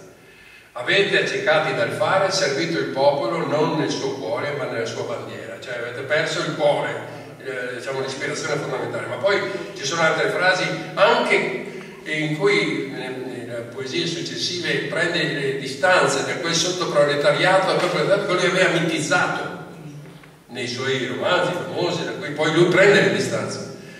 E, e, per esempio nella poesia La ricchezza dice il loro desiderio di ricchezza è così banditesco e aristocratico, simile al mio, cioè anch'io sono borghese, e loro stanno diventando borghesi. E poi ci sono delle frasi sferzanti, cioè, quando dice, eh, eh, fa una polemica alla nazione italiana perché è veramente pesante, quando dice terra di infanti, affamati, corrotti, governanti impiegati di agrari, prefetti codini, avvocatucci unti di brillantina e piedi sporchi, milioni di piccoli borghesi come milioni di porci, frasi pesantissime. E arriva a dire poi proprio come sei esistita ora non esisti. Sprofonda in questo tuo bel mare libera il mondo. Cioè veramente sono poesie di una uh, violenza di una, così, perché qui già ecco, si vede quel Pasolini che poi negli scritti corsari nelle lettere luterane eh, sferzerà la società italiana e il neocapitalismo in maniera drammatica apocalittica quasi c'è però appunto questo, eh, diciamo, in questa fase c'è anche una eh, percezione di fallimento della poesia, di fallimento anche di lui stesso. Vi leggo eh, il brano appunto preso dalla, dalla poesia eh, sulla appunto eh, come una diaspora, eh, cioè una disperata vitalità, disperata. Come in un film di Godard, solo in una macchina che corre per le autostrade, lui girava spesso in macchina con Alfa Romeo, del neocapitalismo latino, di ritorno dall'aeroporto, come un film di Godard, riscoperta del romanticismo in sede del neocapitalismo, neocapitalistico cinismo e crudeltà, al volante, per la strada di Fiumicino sono come un gatto bruciato vivo, pestato dal copertone di un autotreno, impiccato dai ragazzi a un fico, ancora almeno, almeno con sei vite delle sette vite tipiche dei gatti, come un serpe ridotto a poltiglia di sangue, un'anguiglia mezzo mangiata, le guance cave sotto gli occhi abbattuti, i capelli orrendamente dilatati sul cranio, cominciava a invecchiare, le braccia dimagrite come quelle di un bambino. La morte non è non poter comunicare, ma nel non poter più essere compresi. Ecco, c'è questo eh, fallimento ma in queste frasi che vi ho letto, marcandole, c'è quasi la previsione della sua morte, schiacciato da un copertone. Purtroppo sappiamo come è morto. E quindi c'è quasi la previsione, c'è lui nelle sue poesie è trasversale il concetto della morte, il riferimento alla morte. E qui lo è in maniera drammatica. E poi salto altre cose dove dice io sono una forza del passato che è stato citato, eh, del nuovo corso della storia di cui non so nulla. Eh, sono un uomo addetto ai lavori, un ritardatario lasciato fuori per sempre. Ecco.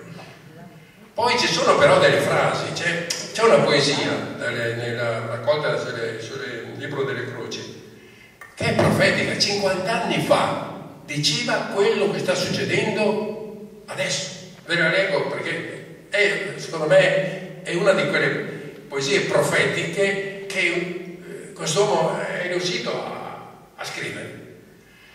Allì dagli occhi azzurri, uno dei tanti figli di figli, scenderà dal geni su navi a vela e remi. Saranno con lui migliaia di uomini coi corpicini e gli occhi di poveri, cani dei padri, nelle barche e il pane eh, nelle barche varate nei regni della fame. Porteranno con sé i bambini e il pane e il formaggio, sbarcheranno a Crotone e a Palmi, a milioni vestiti di stracci asiatici e di camicie americane. Usciranno da sottoterra per rapinare, saliranno dal fondo del mare per uccidere, scenderanno dall'alto del cielo per espropriare, per insegnare ai compagni operai la gioia della vita per insegnare ai borghesi la gioia della libertà, per insegnare ai cristiani la gioia della morte. Distruggeranno Roma e sulle rovine deporranno il germe della storia antica. Qui c'è un cenno chiarissimo, poi a una fase successiva che salto, dove eh, in fondo eh, Pasolini ha il mito del, eh, del Medio Oriente, dell'Africa, dell'Asia, dell'India, in una frase precedente che ho saltato, ho scritto l'idea eh, che sta per morire, dice eh, l'idea dell'uomo che compare gran, nei grandi mattini dell'Italia e dell'India, quindi lui si conserva verso l'Italia del sud, eh, verso Napoli una certa considerazione, ma soprattutto del, del cosiddetto terzo mondo. Transumanare organizzarvi è una cosa strana perché questa frase eh, che prende un un pezzo del verso di Dante, in fondo vuol dire che l'organizzazione e, la, l'ascesa spirituale non sono più in contrasto, non sono un tutt'uno. Pensate che questa raccolta lui la scrive dopo sei anni di silenzio, cioè per sei anni non ha più scritto e invece riprende a scrivere e riprende a scrivere con un riferimento molto forte all'attualità. Eh, nelle sue poesie si parla del caso Braibanti, del caso piazza, della bomba di Piazza Fontana, si parla di Panagulis, si parla di, di, tante cose e anche del suo rapporto con il Nito Tavoli e con Maria Callas, che è stato accennato prima. E, e, c'è sempre in lui, in questa fase, questa nostalgia della povertà, rimpianto del mondo contadino, anche mitizzato, nel mondo preindustriale, che poi sarà il leitmotiv, appunto dicevo, dei scritti corsari, questo suo rifiuto della del mondo moderno dell'attuale società. Ecco, e, e, c'è appunto in questa fase anche, eh, considero la terra, eh, consideravo la terra al centro del mondo, la poesia al centro della terra, tutto ciò era bello, capii che non volevo più scrivere, che non volevo più scrivere poesie. Ora però, ora la vocazione è vacante, basta, non può scrivere più poesia. Poesia non è, più, non è più, capace di esprimere quello che lui vorrebbe esprimere, non è più capito, l'ha detto prima, non è, la tragedia più grande è non essere capiti, non essere compresi. E poi qui ci sono delle poesie molto belle, per esempio una poesia eh, che in fondo eh, ricalca quella, quella, sapete, quella critica feroce che lui ha fatto ai studenti del 68, famosissima, che ha dato luogo a tante polemiche, quando lui si è schierato con i poliziotti e non con i giovani. È una poesia dove dice, oh generazione sfortunata, cosa succederà domani se tale classe dirigente andrà al potere? Quando furono le prime armi non conobbero la poesia della tradizione, perché lui, lui l'ha detto in una poesia precedente che lui ama la tradizione, l'ha citata la eh, signora eh, Periotto prima quando appunto citava la, la frase in cui lui dice che è nella tradizione si ritrova.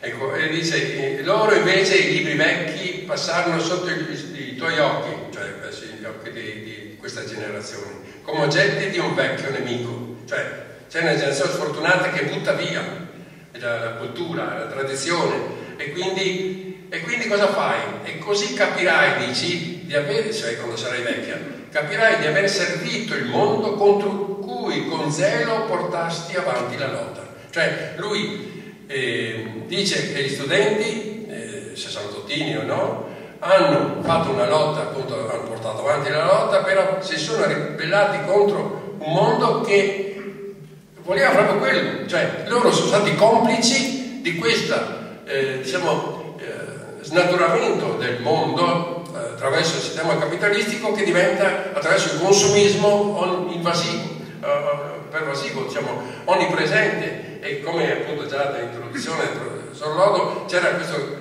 questo discorso appunto della sparizione dei dialetti, questo mondo che sparisse, e voi siete stati complici, avete eh, favorito questo snaturamento della società eh, tradizionale, questo rifiuto dei libri, questo rifiuto della bellezza, dell'arte, dei monumenti, eccetera.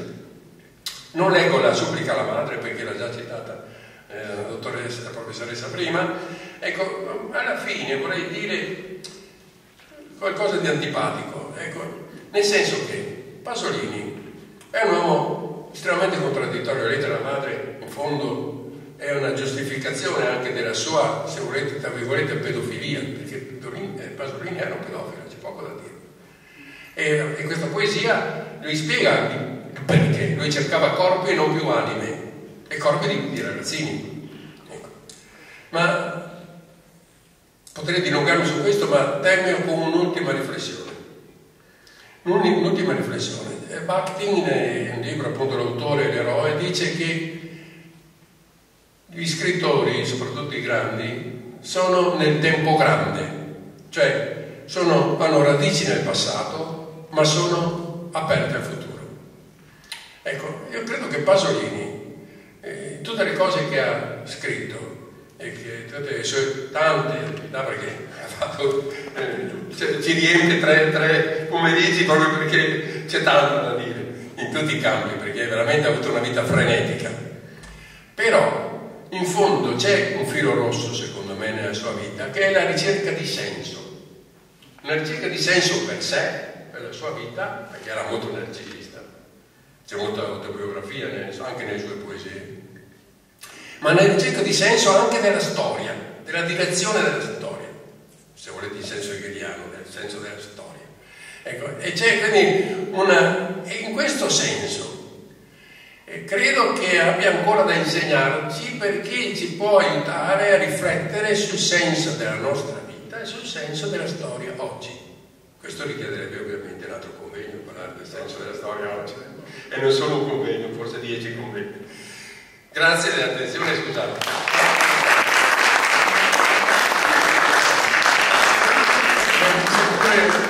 Velocemente, però direi che Antonio Giorgio ci ha dato una buona un'ottima panoramica della, della poesia di Io mi complimento veramente con lo stoicismo, la resistenza e la forza di tutti coloro che sono rimasti fino a quest'ora vi ringrazio infinitamente l'attenzione e diamo appuntamento per chi avrà voglia eh, e così via per martedì prossimo. Non so se Callegrini può fare qualche comunicazione particolare. Grazie, buonasera a tutti e arrivederci.